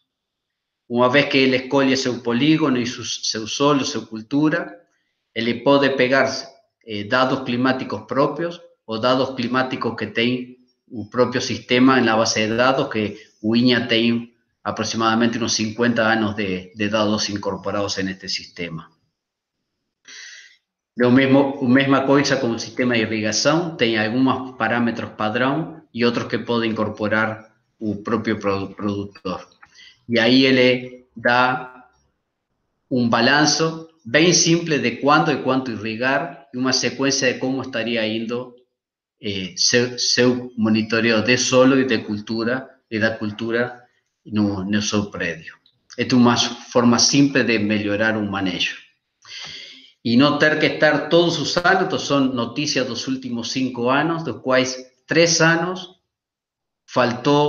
faltó chuva para el rendimiento de soya, faltó chuva y las perdas fueron de 600 millones de dólares, que son perdas para un país, pero son pérdidas también para el productor. Y este último, ese año que estamos viviendo, que tenemos una emergencia agropecuaria por falta de lluvias en varios departamentos. Entonces, tenemos que terminar un poco con esa parte cuando está un conocimiento o pensamos que está un conocimiento y tenemos esa ferramenta. Y ahí tenemos otro desafío que es a divulgación y a capacitación a todo nivel, un foco en la sostenibilidad de la productividad, no solo social, económica, sino también que sea ambiental. Y ahí tenemos un gran desafío de transferencia de conocimiento. Muchas veces hallamos que estamos transfiriendo conocimiento y no estamos transfiriendo nada. Y ahí tiene que llegar él al productor de forma que sea sustentable y que sea beneficioso para todo el mundo. Por eso aquí quería dejar eh, algunas dudas más que, más que certezas, más que son desafíos que tenemos por diante frente a lo que nos está esperando a nuevas a nuevos este, pesquisas para, para enfrentar. Muito obrigado mais uma vez. Cláudio, é, muito obrigado pela, pela sua apresentação, muito boa. Agora nós vamos para, para o último palestrante e logo depois a gente vai abrir para duas, três perguntas e, e a gente finaliza. Vou convidar agora rapidamente, sem, sem demora, Dr. Christopher Neal, que é diretor de pesquisa do Robert Doty Water for Food Global Institute, Nebraska. O Chris tem mais de 35 anos de experiência em engenharia de irrigação, gerenciamento de água, trabalha muito com medição de fluxo de evapotranspiração e balanço de energia, aplicações, também é muito conhecido na área de censuramento remoto, né? Eu vou evitar saltar essa parte da, geralmente que eu falo, estava falando dos, dos, de cada um, Cris, sobre que você que vai falar disso de Nebraska, da irrigação, mas eu acho importante levantar aqui que você vai falar um, um tema que é muito importante no Brasil também, que é a questão da governança da água, né? Cris, obrigado por ter aceito o convite. É, desculpe pela demora, o último sempre é penalizado, agora você tem um tempo para falar tranquilo aí também, tá bom? Obrigado, abraço. Põe no modo, no modo apresentação. Ok. Obrigado, Lineu. Obrigado uh, pelo convite, ainda vale por participar. Um, uh, I'm going to apologize to my colleagues that speak English that uh, I have prepared my presentation in Portuguese, and so uh, I will proceed with the Portuguese, and I hope the translation is uh, going on okay. Bom, eu vou eu vou conversar um pouco sobre a agricultura irrigada no Nebraska uh, e um, uh, um pouco sobre a governança e, e os, os, impactos, né, tanto positivos como negativos. Primeiro, um pouquinho sobre o nosso instituto, né, o Water for Food uh, Institute uh, da Universidade do Nebraska. Uh, esse é o nosso décimo aniversário esse ano. Nós temos uma visão de políticas e pesquisas e, e científicas e políticas para segurança hídrica alimentar. Esse é o foco da nossa missão. Temos parceiros em diferentes países, inclusive no Brasil. Recebemos uh, pós-doutorados, uh, estudantes, muitas coisas. E vocês podem ler mais sobre o Instituto nesse link abaixo online. Bom, quanto ao Nebraska, Uh, Nebraska é um estado grande em tamanho, né? Uh, mas uh, com baixa população, somos menos de 2 milhões de pessoas. Né? o Nebraska, mas temos uma agricultura bastante vibrante e importante. Né? Segundo maior produtor de etanol de milho nos Estados Unidos, terceiro maior produtor de milho, com uma média irrigada de 12 toneladas e meia por hectare e somos uh, número um, uh, sempre concorrendo com o Texas para essa posição, na produção de carne bovina, né? E semelhante ao Uruguai, né? A, a, a, população do gado é três vezes maior do que a população humana, né? E soja também é outro, uh, outra cultura de, de produção significativa. Lembra-se que aqui só se produz uma cultura por ano, por causa do inverno rigoroso, e é o, a rotação comum é um ano milho, outro ano a soja. Uh, temos o que a gente chama do triângulo dourado. Tá? Se planta milho para produzir etanol, e o byproduct, né, o, o, que resta da produção do etanol de milho é o que a gente chama é, em inglês Distillers Dry Grain, né? aqui tem uma foto uh, que eu tirei numa usina de etanol aqui, que é, depois de seco, esse Distillers Dry Grain é alimentado ao gado, confinado, né? juntamente com um pouco de ração de milho direto. Né? E esse, esse é, é o triângulo, então. Né? é uma operação verticalizada e tudo se aproveita, né? inclusive o berro do boi. Bom, o Nebraska está numa região de transição entre o semiárido oeste e a agricultura de precipitação no leste americano, né? De 400 a quase 900 milímetros dessa transição. Então, dentro do estado, se você vai produzir culturas como milho e soja, você vai ter que irrigar certamente no lado oeste do estado Uh, e no lado leste do estado se pode produzir essas duas culturas baixo precipitação num ano normal de precipitação, mas uh, a, a, irrigação garante a, a produção. Também vou, vou, notar que a diferença de altitude de oeste para leste é de mais ou menos uh, quase mil e, e mais de mil metros de diferença, né? temos mais ou menos a altura de 1.600 aqui e 300 aqui no, no leste. Bom, a área de irrigada do Nebraska é significativa. Esses dados são um pouco antigos, né? A Califórnia e o Nebraska estão disputando aí o primeiro lugar. Uh, esses, esses números são de mais ou menos quase 10 anos atrás. O Brasil já foi de 4,5 para 7 milhões de hectares. Mas o ponto aqui é que o tamanho da área irrigada no Nebraska é similar a muitos países do mundo. Né? Então, uma área significativa. E se você voar sobre o Nebraska e olhar para baixo, você vai olhar, vai ver uma, uma, uma, uma visual, um visual assim de milhares de pivôs centrais em algumas áreas do estado. Né? Uh, a maioria irrigando por bombeamento do aquífero High Plains uh, Ogallala. Então, esse mapa aqui mostra que são quase 96, mais de 96 mil poços ativos que estão sendo usados para irrigação. São entre 6 e 8 bilhões de dólares de investimento, tudo na iniciativa privada.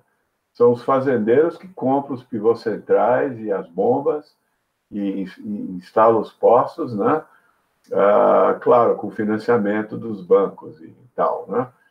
Então, você olha aqui uh, nesse gráfico abaixo, na década de 70 foi uma explosão de desenvolvimento de uh, poços um, devido à a, a, a, invenção do pivô central e a substituição da irrigação por superfície por irrigação, por aspersão, usando o pivô central. É uma questão de mão de obra também e, e vários fatores que levaram a isso, né? Então, uh, isso teve impacto, não só no Nebraska, mas principalmente em outras áreas do aquífero High Plains Aquifer, onde, por exemplo, no Texas e no Oklahoma, mais de 50% da espessura saturada do aquífero já foi bombeada e a recarga nessa parte do aquífero é bem menor do que o bombeamento atual. Tá? O Nebraska tem a vantagem, se você olhar aqui na figura direita, de uma grande parte do aquífero Nebraska é a parte com a espessura mais grossa, né, de 300, 400 metros, 400 metros de espessura de aquífero, além de ser uma região de recarga, né, muito significativa, um terço do estado é ocupado pelo, uh, pelo Sandhills, né, que é uma estrutura geológica de dunas coberta por gramíneas, né, que nem nos filmes de Hollywood, onde os búfalos passeavam, e é muito semelhante, seria a coisa mais semelhante no Brasil seria o jalapão, para quem uh, conhece uh, o jalapão ali no, no Tocantins, né? Bom, além dessas características físicas, o Nebraska criou uma estrutura de uh, governança de água, de água subterrânea, né? os distritos de recursos naturais. Né? Uh, esses distritos seguem mais ou menos as fronteiras das bacias superficiais, uh, são a governança local, a tá? regulamentação local, por um conselho de administração que é votado pelos eleitores do, da região e do distrito. eles têm um orçamento devido a impostos locais e o Estado só intervém quando uh, existem problemas de sobre uh, explotação de água naquele distrito ou rebaixamento do lençol freático, do freático significativo, né? Então, nós dizemos que no Nebraska existem 23 leis de, de governança de água subterrânea diferentes, porque são 23 distritos. Então, você nota aqui no oeste do estado, né, onde uh, eu mostrei antes, a precipitação, é menor, a recarga é menor, já existe muitas áreas onde existe moratória, não se pode mais cavar poço para irrigação nessa zona cor-de-rosa, essas zonas raiadas são áreas, são distritos onde existe uma alocação anual, tá? uma lâmina máxima de bombeamento, por exemplo, o Upper Republican Natural Resource District, a lâmina, a lâmina atual é 12 polegadas, ou, ou, ou 300 milímetros. É o que você pode bombear por ano. Tá? Cada poço tem um, um totalizador né, de, de vazão, né, que está medindo a água sendo aplicada, e tudo isso é regulamentado e controlado né, pelo distrito. Tá? Então, o fazendeiro tem que produzir milho, que precisa de 650 milímetros, pelo menos, tá? usando os 300 de irrigação e mais a precipitação natural. Então, tem que ser uma administração, um manejo muito cuidadoso da água. Né?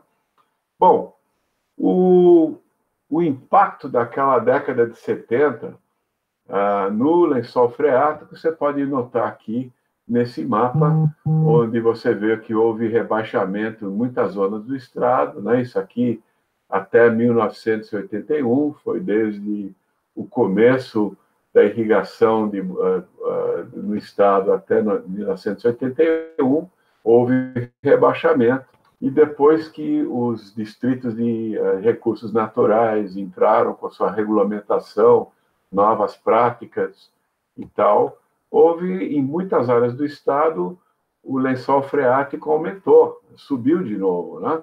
Então, nessas áreas verdes que você vê em azul, Existem duas áreas problemáticas, que, é o Upper Republican e Middle Republican, a bacia do Republican River, e essa região noroeste do, do estado. A situação atual é que, desde, desde o pre-development, né, do começo da irrigação no estado até agora, uh, a, a, o aquífero está em razoável, boa situação, só nessas duas áreas do estado que eu mencionei, que o aquífero continua a rebaixar. Inclusive, isso causou um problema com o estado de Kansas, que foi para a Suprema Corte contra Nebraska e, e Colorado ah, para ah, o acordo de águas ah, superficiais no Rio Republican River, porque sim, o aquífero está conectado à vazão superficial e à vazão de base desse rio, né? Esses mapas são produzidos pelo Conservation Survey Division da Universidade do Nebraska, em base à informação de milhares de postos de observação no estado inteiro. Alguns que são medidos anualmente em, ah, em, em março, né? começo de abril, antes do, do, da próxima estação de bombeamento, mas também há, há postos que são medidos horariamente, são os azuis, e diariamente, que são os vermelhos. Toda essa informação é usada para criar aqueles mapas. E você pode entrar online abaixar o, o relatório de, anual que mostra os mapas e mostra a situação. Então, tudo isso é transparente e aberto para os usuários poderem ver, para os Natural Resources Districts usarem essas informações para ajustarem a sua política local de governança de água subterrânea. Lições aprendidas: é importante estabelecer confiança entre usuários, coletar dados de qualidade e instituir transparência do dados. Está tudo online para todo mundo ver a situação. Nada é, é secreto, secreto, uh, secreto, né? E Uh, isso uh, permite aos recursos, aos distritos, assegurar o desempenho das políticas e regras de uso e continuar uh, garantindo financiamento, que é importante para a governança da água subterrânea. Já a água superficial é uh, atuação do Estado, né? Então, o Departamento de Recursos Naturais do Estado de Nebraska é que administra a água superficial do Estado. E são uh, 6 mil, mais de 6.500 outorgas para irrigação no estado, mas já a irrigação por superfície uh, só atende a 15% da área irrigada do estado, daqueles 3 milhões e meio de hectares, né? Uh, tudo foi convertido a irrigação por pivô central, a maior parte bombeada do aquífero, Rogalala. Toda essa uh, esse manejo de água superficial uh, deve, uh, vem de dados em tempo real, de estações de medição de fluxo, de vazão de rios, né? tanto do departamento como do, do USGS, do governo federal, e essa informação é usada, então, para as outorgas, para modelar a água subterrânea também, porque existe a conexão entre a água subterrânea e a água superficial, né? Um, e os tratados com estados vizinhos, né? o Republican River, que eu mencionei, mais o North Platte e o South Platte, que vem do degelo de águas do Colorado, né? e passa pelo Wyoming e tal. Existem acordos entre os estados é, regulamentando a quantidade de água que tem que ser suprida. Né? Uh, e o estado, como é mencionado, ele só uh, ele só ingere na, na, nas leis de água subterrânea quando existe problemas, né? Então, no oeste do estado, os, os, os, os Natural Resource Districts, né? Eles têm que criar um plano de integrado de recursos hídricos, né? Uh, e tem que ser aprovado pelo Departamento de Recursos Naturais do Estado. Já no leste, onde existe menos pressão no aquífero, uh, os planos são voluntários ou ainda estão em desenvolvimento. Bom, tudo isso, to, toda essa agricultura de alta produção tem levado a impactos negativos e positivos, né? então, eu quero falar um pouco sobre isso. Primeiro, os impactos negativos, que é na qualidade de água superficial e subterrânea. Né? Então, aqui você vê que existem muito la muitos lagos e muitos uh, milhas de lineares de rios onde a qualidade da água está sendo afetada devido à agricultura, né? devido a agroquímicos, agrotóxicos e um, também a, a, grande, intensa produção de, pecuária e, e, e gado de, e outros, uh, outros aspectos de pecuária, né, que afetam a qualidade da água superficial. E a água subterrânea, devido a nitratos, principalmente, né, a lixiviação dos nitratos devido à fertilização, a fertilizantes aplicados e a irrigação e a chuva que tem levado a lixiviação do nitrato até a água subterrânea. E você vê que em algumas regiões do estado, uh, a concentração de nitrato no aquífero é maior do que 10 miligramas por litro, né? As zonas uh, laranja escura e vermelhas. E 10 miligramas por litro é o que o eh, Environmental Protection Agency, né, do governo federal, é, é o limite onde a água a, partir desse, desse limite ter que ser tratada para consumo humano, né? E isso causa um, um monte de problemas, né? Porque muitos dos fazendeiros que vivem na zona rural se abastecem a, a sua cisterna, né, a sua caixa d'água, usando água do próprio poço, né? E se ele tiver uh, alto nível de nitrato, Uh, isso é bom para as culturas, né? Pro, pro, mas não mal para os humanos e tem que ser tratado com o seu próprio sistema de uh, osmose, né? Reverse osmosis. E a tendência tem piorado no estado, né? Você vê por década que a tendência de nitratos no aquífero, a concentração tem aumentado, né? E, uh, e uh, isso pela intensificação em muitos dos municípios uh, que dependem de água do aquífero para o consumo humano, tem que ter tratamento de água para remover os nitratos, né? Porque isso cria um problema de saúde, né? nitrato cria o, o síndrome do bebê azul, né? É um dos problemas e também é um causador de câncer, né? Ah, bom, ah, então, ah, no suprimento de água potável, em um monte de lugar do estado, a água tem que ser tratada para consumo humano. Bom, o problema não é só o que está existente, o problema também é que existe uma alta concentração de nitratos nessa zona não saturada, acima do aquífero do lençol freático e abaixo da zona da raiz dos culturas. Existem nitratos que estão sendo lixiviados e estão a caminho da água subterrânea. Né? Então, é muito importante diminuir o, o sobreuso de água de irrigação, o sobreuso de fertilizantes, para diminuir a quantidade que está entrando nessa zona uh, na veia do na zona não saturada, né? Porque, por exemplo, na, em Hastings, Nebraska, existe uma estimativa de 520 libras de nitrato né, em, abaixo de cada acre né, de, da superfície. Então, é uma quantidade significativa e que eventualmente vai chegar na água subterrânea.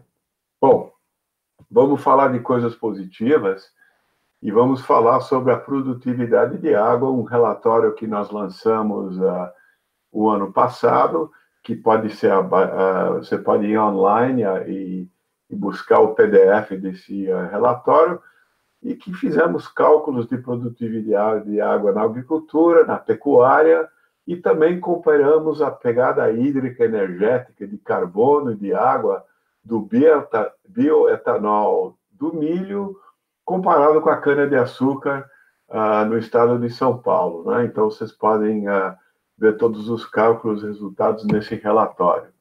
A boa notícia é que a produtividade da água, o que significa nessa equação que você vê aí, a produção dividido pela evapotranspiração, ou seja, a água consumida para produzir aquele grão de milho ou de soja, né?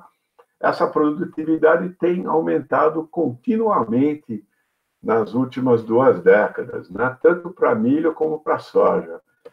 A maior parte desse aumento de produtividade foi devido ao aumento da produção, né?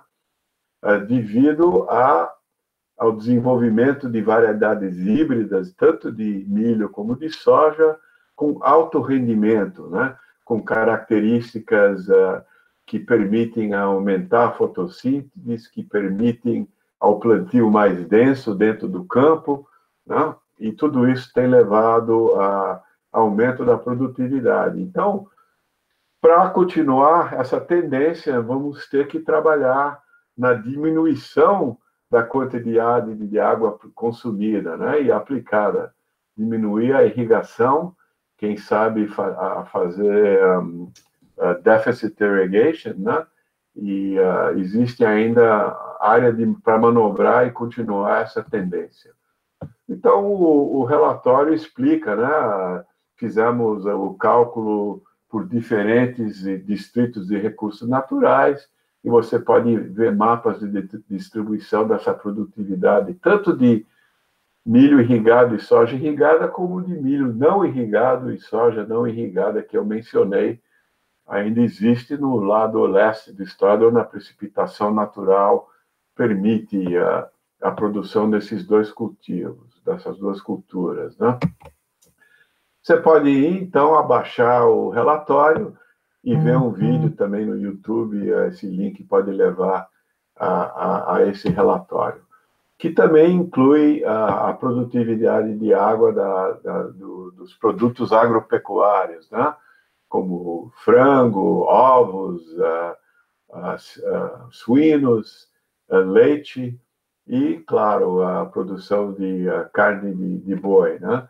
E também apresentamos os números não só em quilogramas por metro cúbico, né? Por quilograma final de produto por metro cúbico de água usado, mas também em termos de proteína energia, onde você vê que o, o, o a carne bovina, que tem uma pegada hídrica muito grande, uh, ela também uh, não é tão ruim quando você olha em termos de proteína e energia, né?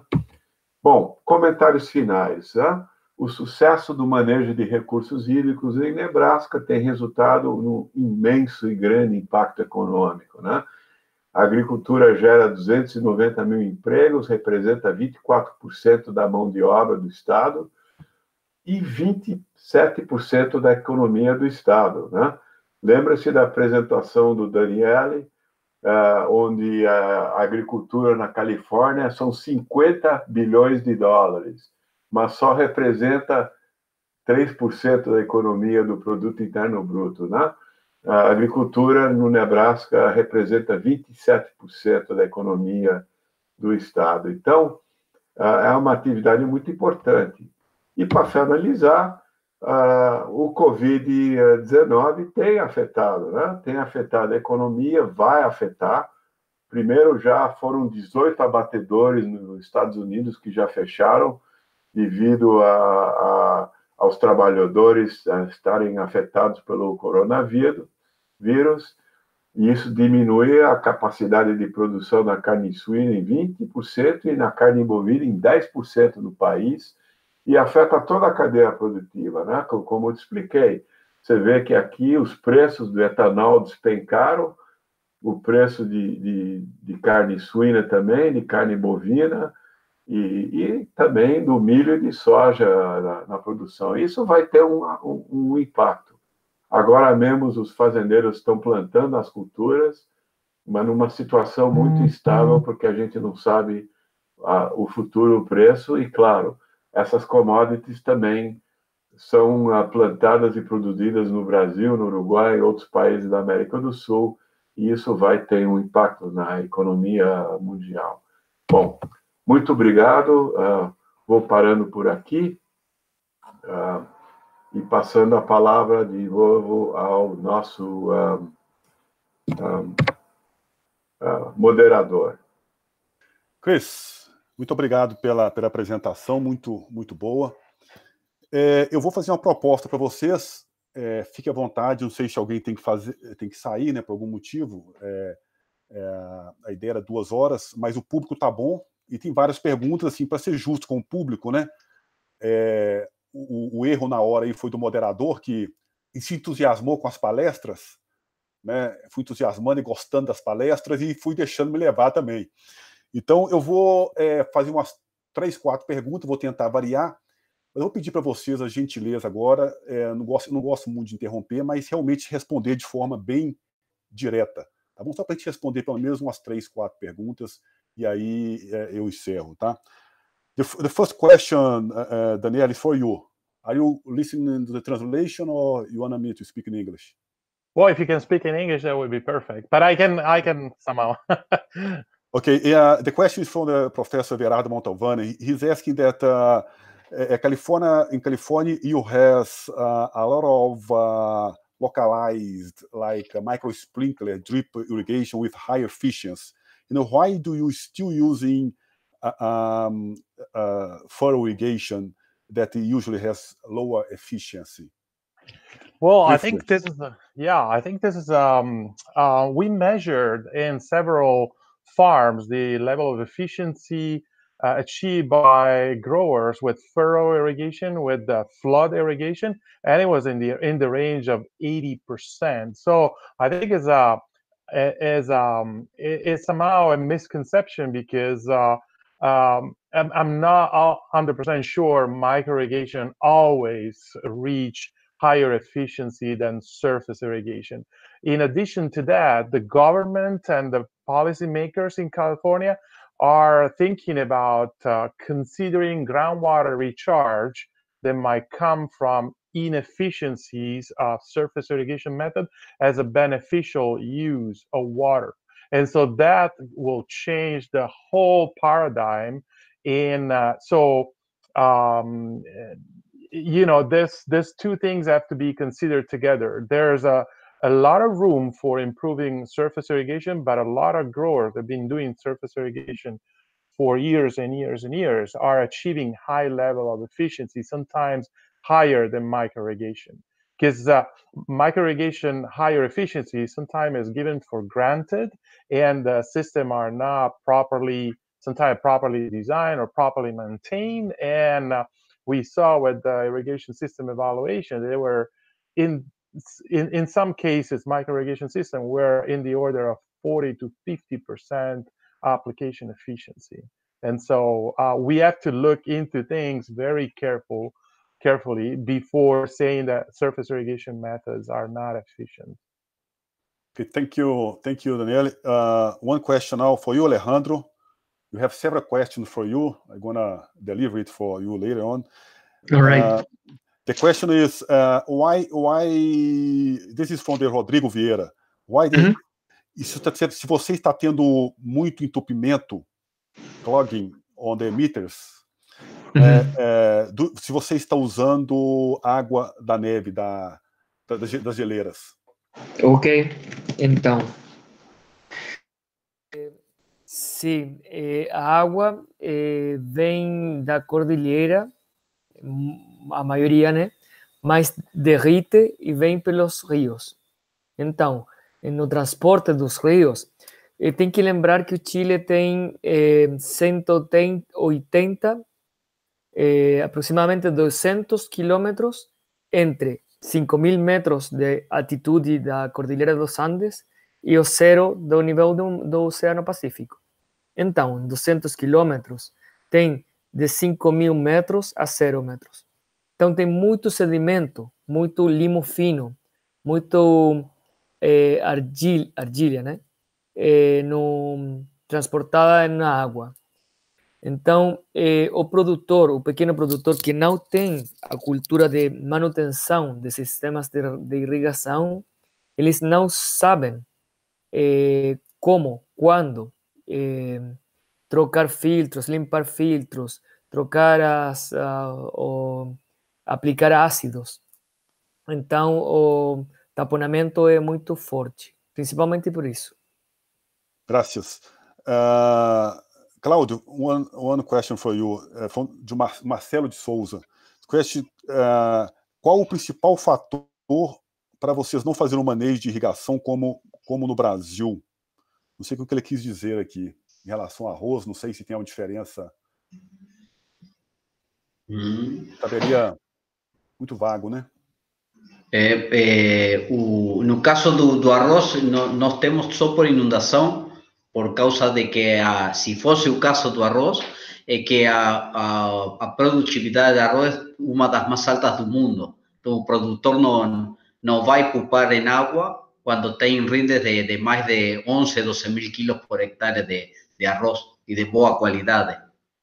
No caso do, do resto da, agricultura, o problema é que tem tem colocado pivô central na maioria das áreas agrícolas, no qual a, a na média dos, eh, temos uns 600 equipos em todo o país, não é muita área de, de irrigação, não chega a de 40 mil hectares de pivô central. A, a lâmina média não é mais de 3,5, 4 milímetros por dia do pivô. Então, de aí sempre está em déficit. Quando o verão vem, vem com pouca chuva, tem sempre déficit e aí o potencial do rendimento nunca são, são alcançados. Gracias, Claudio. Peter, Peter, one one for you. The question is, uh, how do you how the, the irrigation management is be doing in Australia? I mean, I think it's uh, what equipment are you using, or farmers just do it uh, doing by like uh, without any control? Uh, we've got uh, really the whole spectrum in Australia. With the majority of our irrigation management is surface irrigation, of which uh, a great proportion would be furrow. And I agree with Daniela's observation. It can be very efficient. Uh, it can also be very inefficient, but we've got some very high efficiencies. there's a, a big upsurge in centre pivots and lateral moves. Uh, that's been the big market sector move, and uh, there's a lot of good um, management developing there. There's micro irrigation in horticulture mostly. That's drip and micro spray, the usual variations there. Um, and on our pastures, we still have, I guess, um, spray lines and maybe big gun uh, travelers, which I would like to see changed. But uh, we've got the whole spectrum. Is that the question, Lenu? Yes, yes, exactly. I mean, uh, but uh, regarding the equipment, are you using like tensiometers and uh, for, for measurement and give res- how, how do you do it? It's more like climatic uh, and modeling and uh, Yep. Uh, well, the um, what shall we say? The uh, the more uh, high-end crops, the more profitable crops, are using soil moisture probes um, a lot. The lesser value crops tend to, at the worst end, just be on a fairly fixed schedule, or when the plant looks like it's uh, wilted. Um, the more advanced ones are beginning to use uh, sa- satellite uh, telemetry, satellite imagery. Um, there's even some trials being done with uh, canopy temperature sensors and um, uh, leaf uh, diameter um, sensors. So we've got the whole spectrum going there, but the predominance would be by uh, soil probes. And I don't think I mentioned weather-based, but there is weather-based scheduling going on. And there's a trend we're trying to, we are seeing, which is into uh, satellite imagery. okay, thank you. Chris, one one for you. Chris, uh, that's that, that's my question for you. Just uh, I'm going to speak in Portuguese, so I think the the, the guy is translating. Quan- Quando eu quando eu morei em Nebraska, é, o grande problema era a trazina. Vou fazer duas perguntas, te dar a oportunidade de vocês é, explorar um pouco mais. Existe esse problema de atrazina ainda na contaminação da água? E como é esse acordo, como a água subterrânea é tratada nos Estados Unidos? Porque o Ogalala a gente sabe que ele pega vários estados. É, Como é que você, por exemplo, Nebraska usando mais água, se relaciona com o Texas? Existe algum, algum acordo nesse sentido? Ah, ok. Ah, primeiro, a, a- a- o assunto atrazina, né? É, a atrazina continua sendo um problema na, na água superficial, principalmente, né? E, e estamos entrando justamente na época do ano onde a concentração é maior, né? Que a atrazina vem do herbicida que aplicam no Roundup Ready, ah, o milho, né? Então, ah, é, esse- ele é um indicador, inclusive ele é usado como indicador de outros químicos, né? Porque ele é fácil de medir na água superficial e, e- então ele um, ele é um ele é problemático e continua sendo, né? Quanto à tua segunda parte da pergunta, o, o o aquífero, apesar do aquífero High Plains Aquifer tem o mesmo nome, né? E, e eu mostrei o mapa da extensão tal, existe uma estrutura geológica mais ou menos na fronteira entre Nebraska e Kansas, onde essa comunicação realmente é cortada, né? Não é que nem uma grande banheira, tá? Então, por isso que a parte sul do aquífero está tendo esse, esse rebaixamento significativo e a parte norte no Nebraska continua estável porque além de ter a, a espessura saturada maior, temos a zona de recarga maior eh, e temos a contribuição dos rios que vêm do degelo ah, das montanhas rochosas. Então, o balanço hídrico no Nebraska é bem diferente dos outros estados. Eu tinha pensado mais, Cris, no sentido institucional entre estados, né? Como, por exemplo, um estado mais abaixo ele pode é, é, sul, ele pode processar, por exemplo, o estado mais acima por estar overusing that water. Ah, tá. Então, a, é.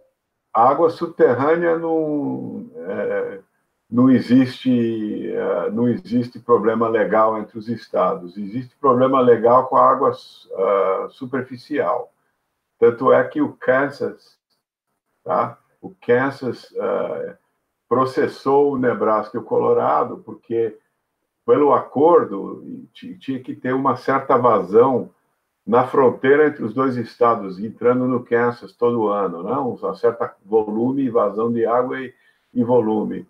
E por causa do bombeamento uh, no aquífero, que está conectado com o Republican River, tá? Uh, essa vazão de base diminuiu ou desapareceu, né? Então, é por isso que eles processaram o Nebraska, tá? Então, uh, em água superficial, sim, mas em água subterrânea não, não uh, existe isso, porque, pelo menos pelo que eu conheço, dentro do, do High Plains Aquifer não existe problema legal entre os estados. Certo. Muito obrigado, Cris. Thank you, thank you, Peter, eh, Daniele. Obrigado, Cláudio, Alejandro. Foi um prazer. É, obrigado pela disponibilidade de ficar um pouco mais, né? Thank you for uh, uh, to stay a little bit more, Peter, Daniele. I mean, I think the presentation was very nice, and I think what is best of this uh, webinar, I used to say this to my colleagues, is not the amount of people that are watching us right now. Is that this is going to be recorded? And the people can watch and the number is going to increasing as people keep watching seeing the presentation the talk you know. I know sometimes uh, when we, we go a little bit uh, uh, uh, after i mean beyond the time we planned uh, some people can get a little bit uh, frustrating but i mean i think that's part of of the game okay? Thank you very much and and i'm gonna start closing now I think Rogers now is going to take uh, uh, the lead from now on. I just just asked for you to stay a little bit more. Okay, if you want, meanwhile, to say. Thanks, Linneo. Okay. Thank Thanks, you very guys. much. Thank you, Linneo. Obrigado. Right. Muito obrigado, Linneo. Thank you, Linneo. Thank you, everyone. Thank you. Peter, I'm going to send you a message tomorrow. I'd like to talk to you also about this uh, uh, meter that you are working with uh, to measure uh, discharge irrigation. You know, it's something that's coming to Brazil as well. Oh, okay, sure. Yeah, I, I just read in your CV that you are like uh, auditing. Yeah, yes, that's part of part of it. Yep. Yeah. No worries. Okay, thank you. Thank you. I'm not sure it's uh, it's done. Rogers, it's with you.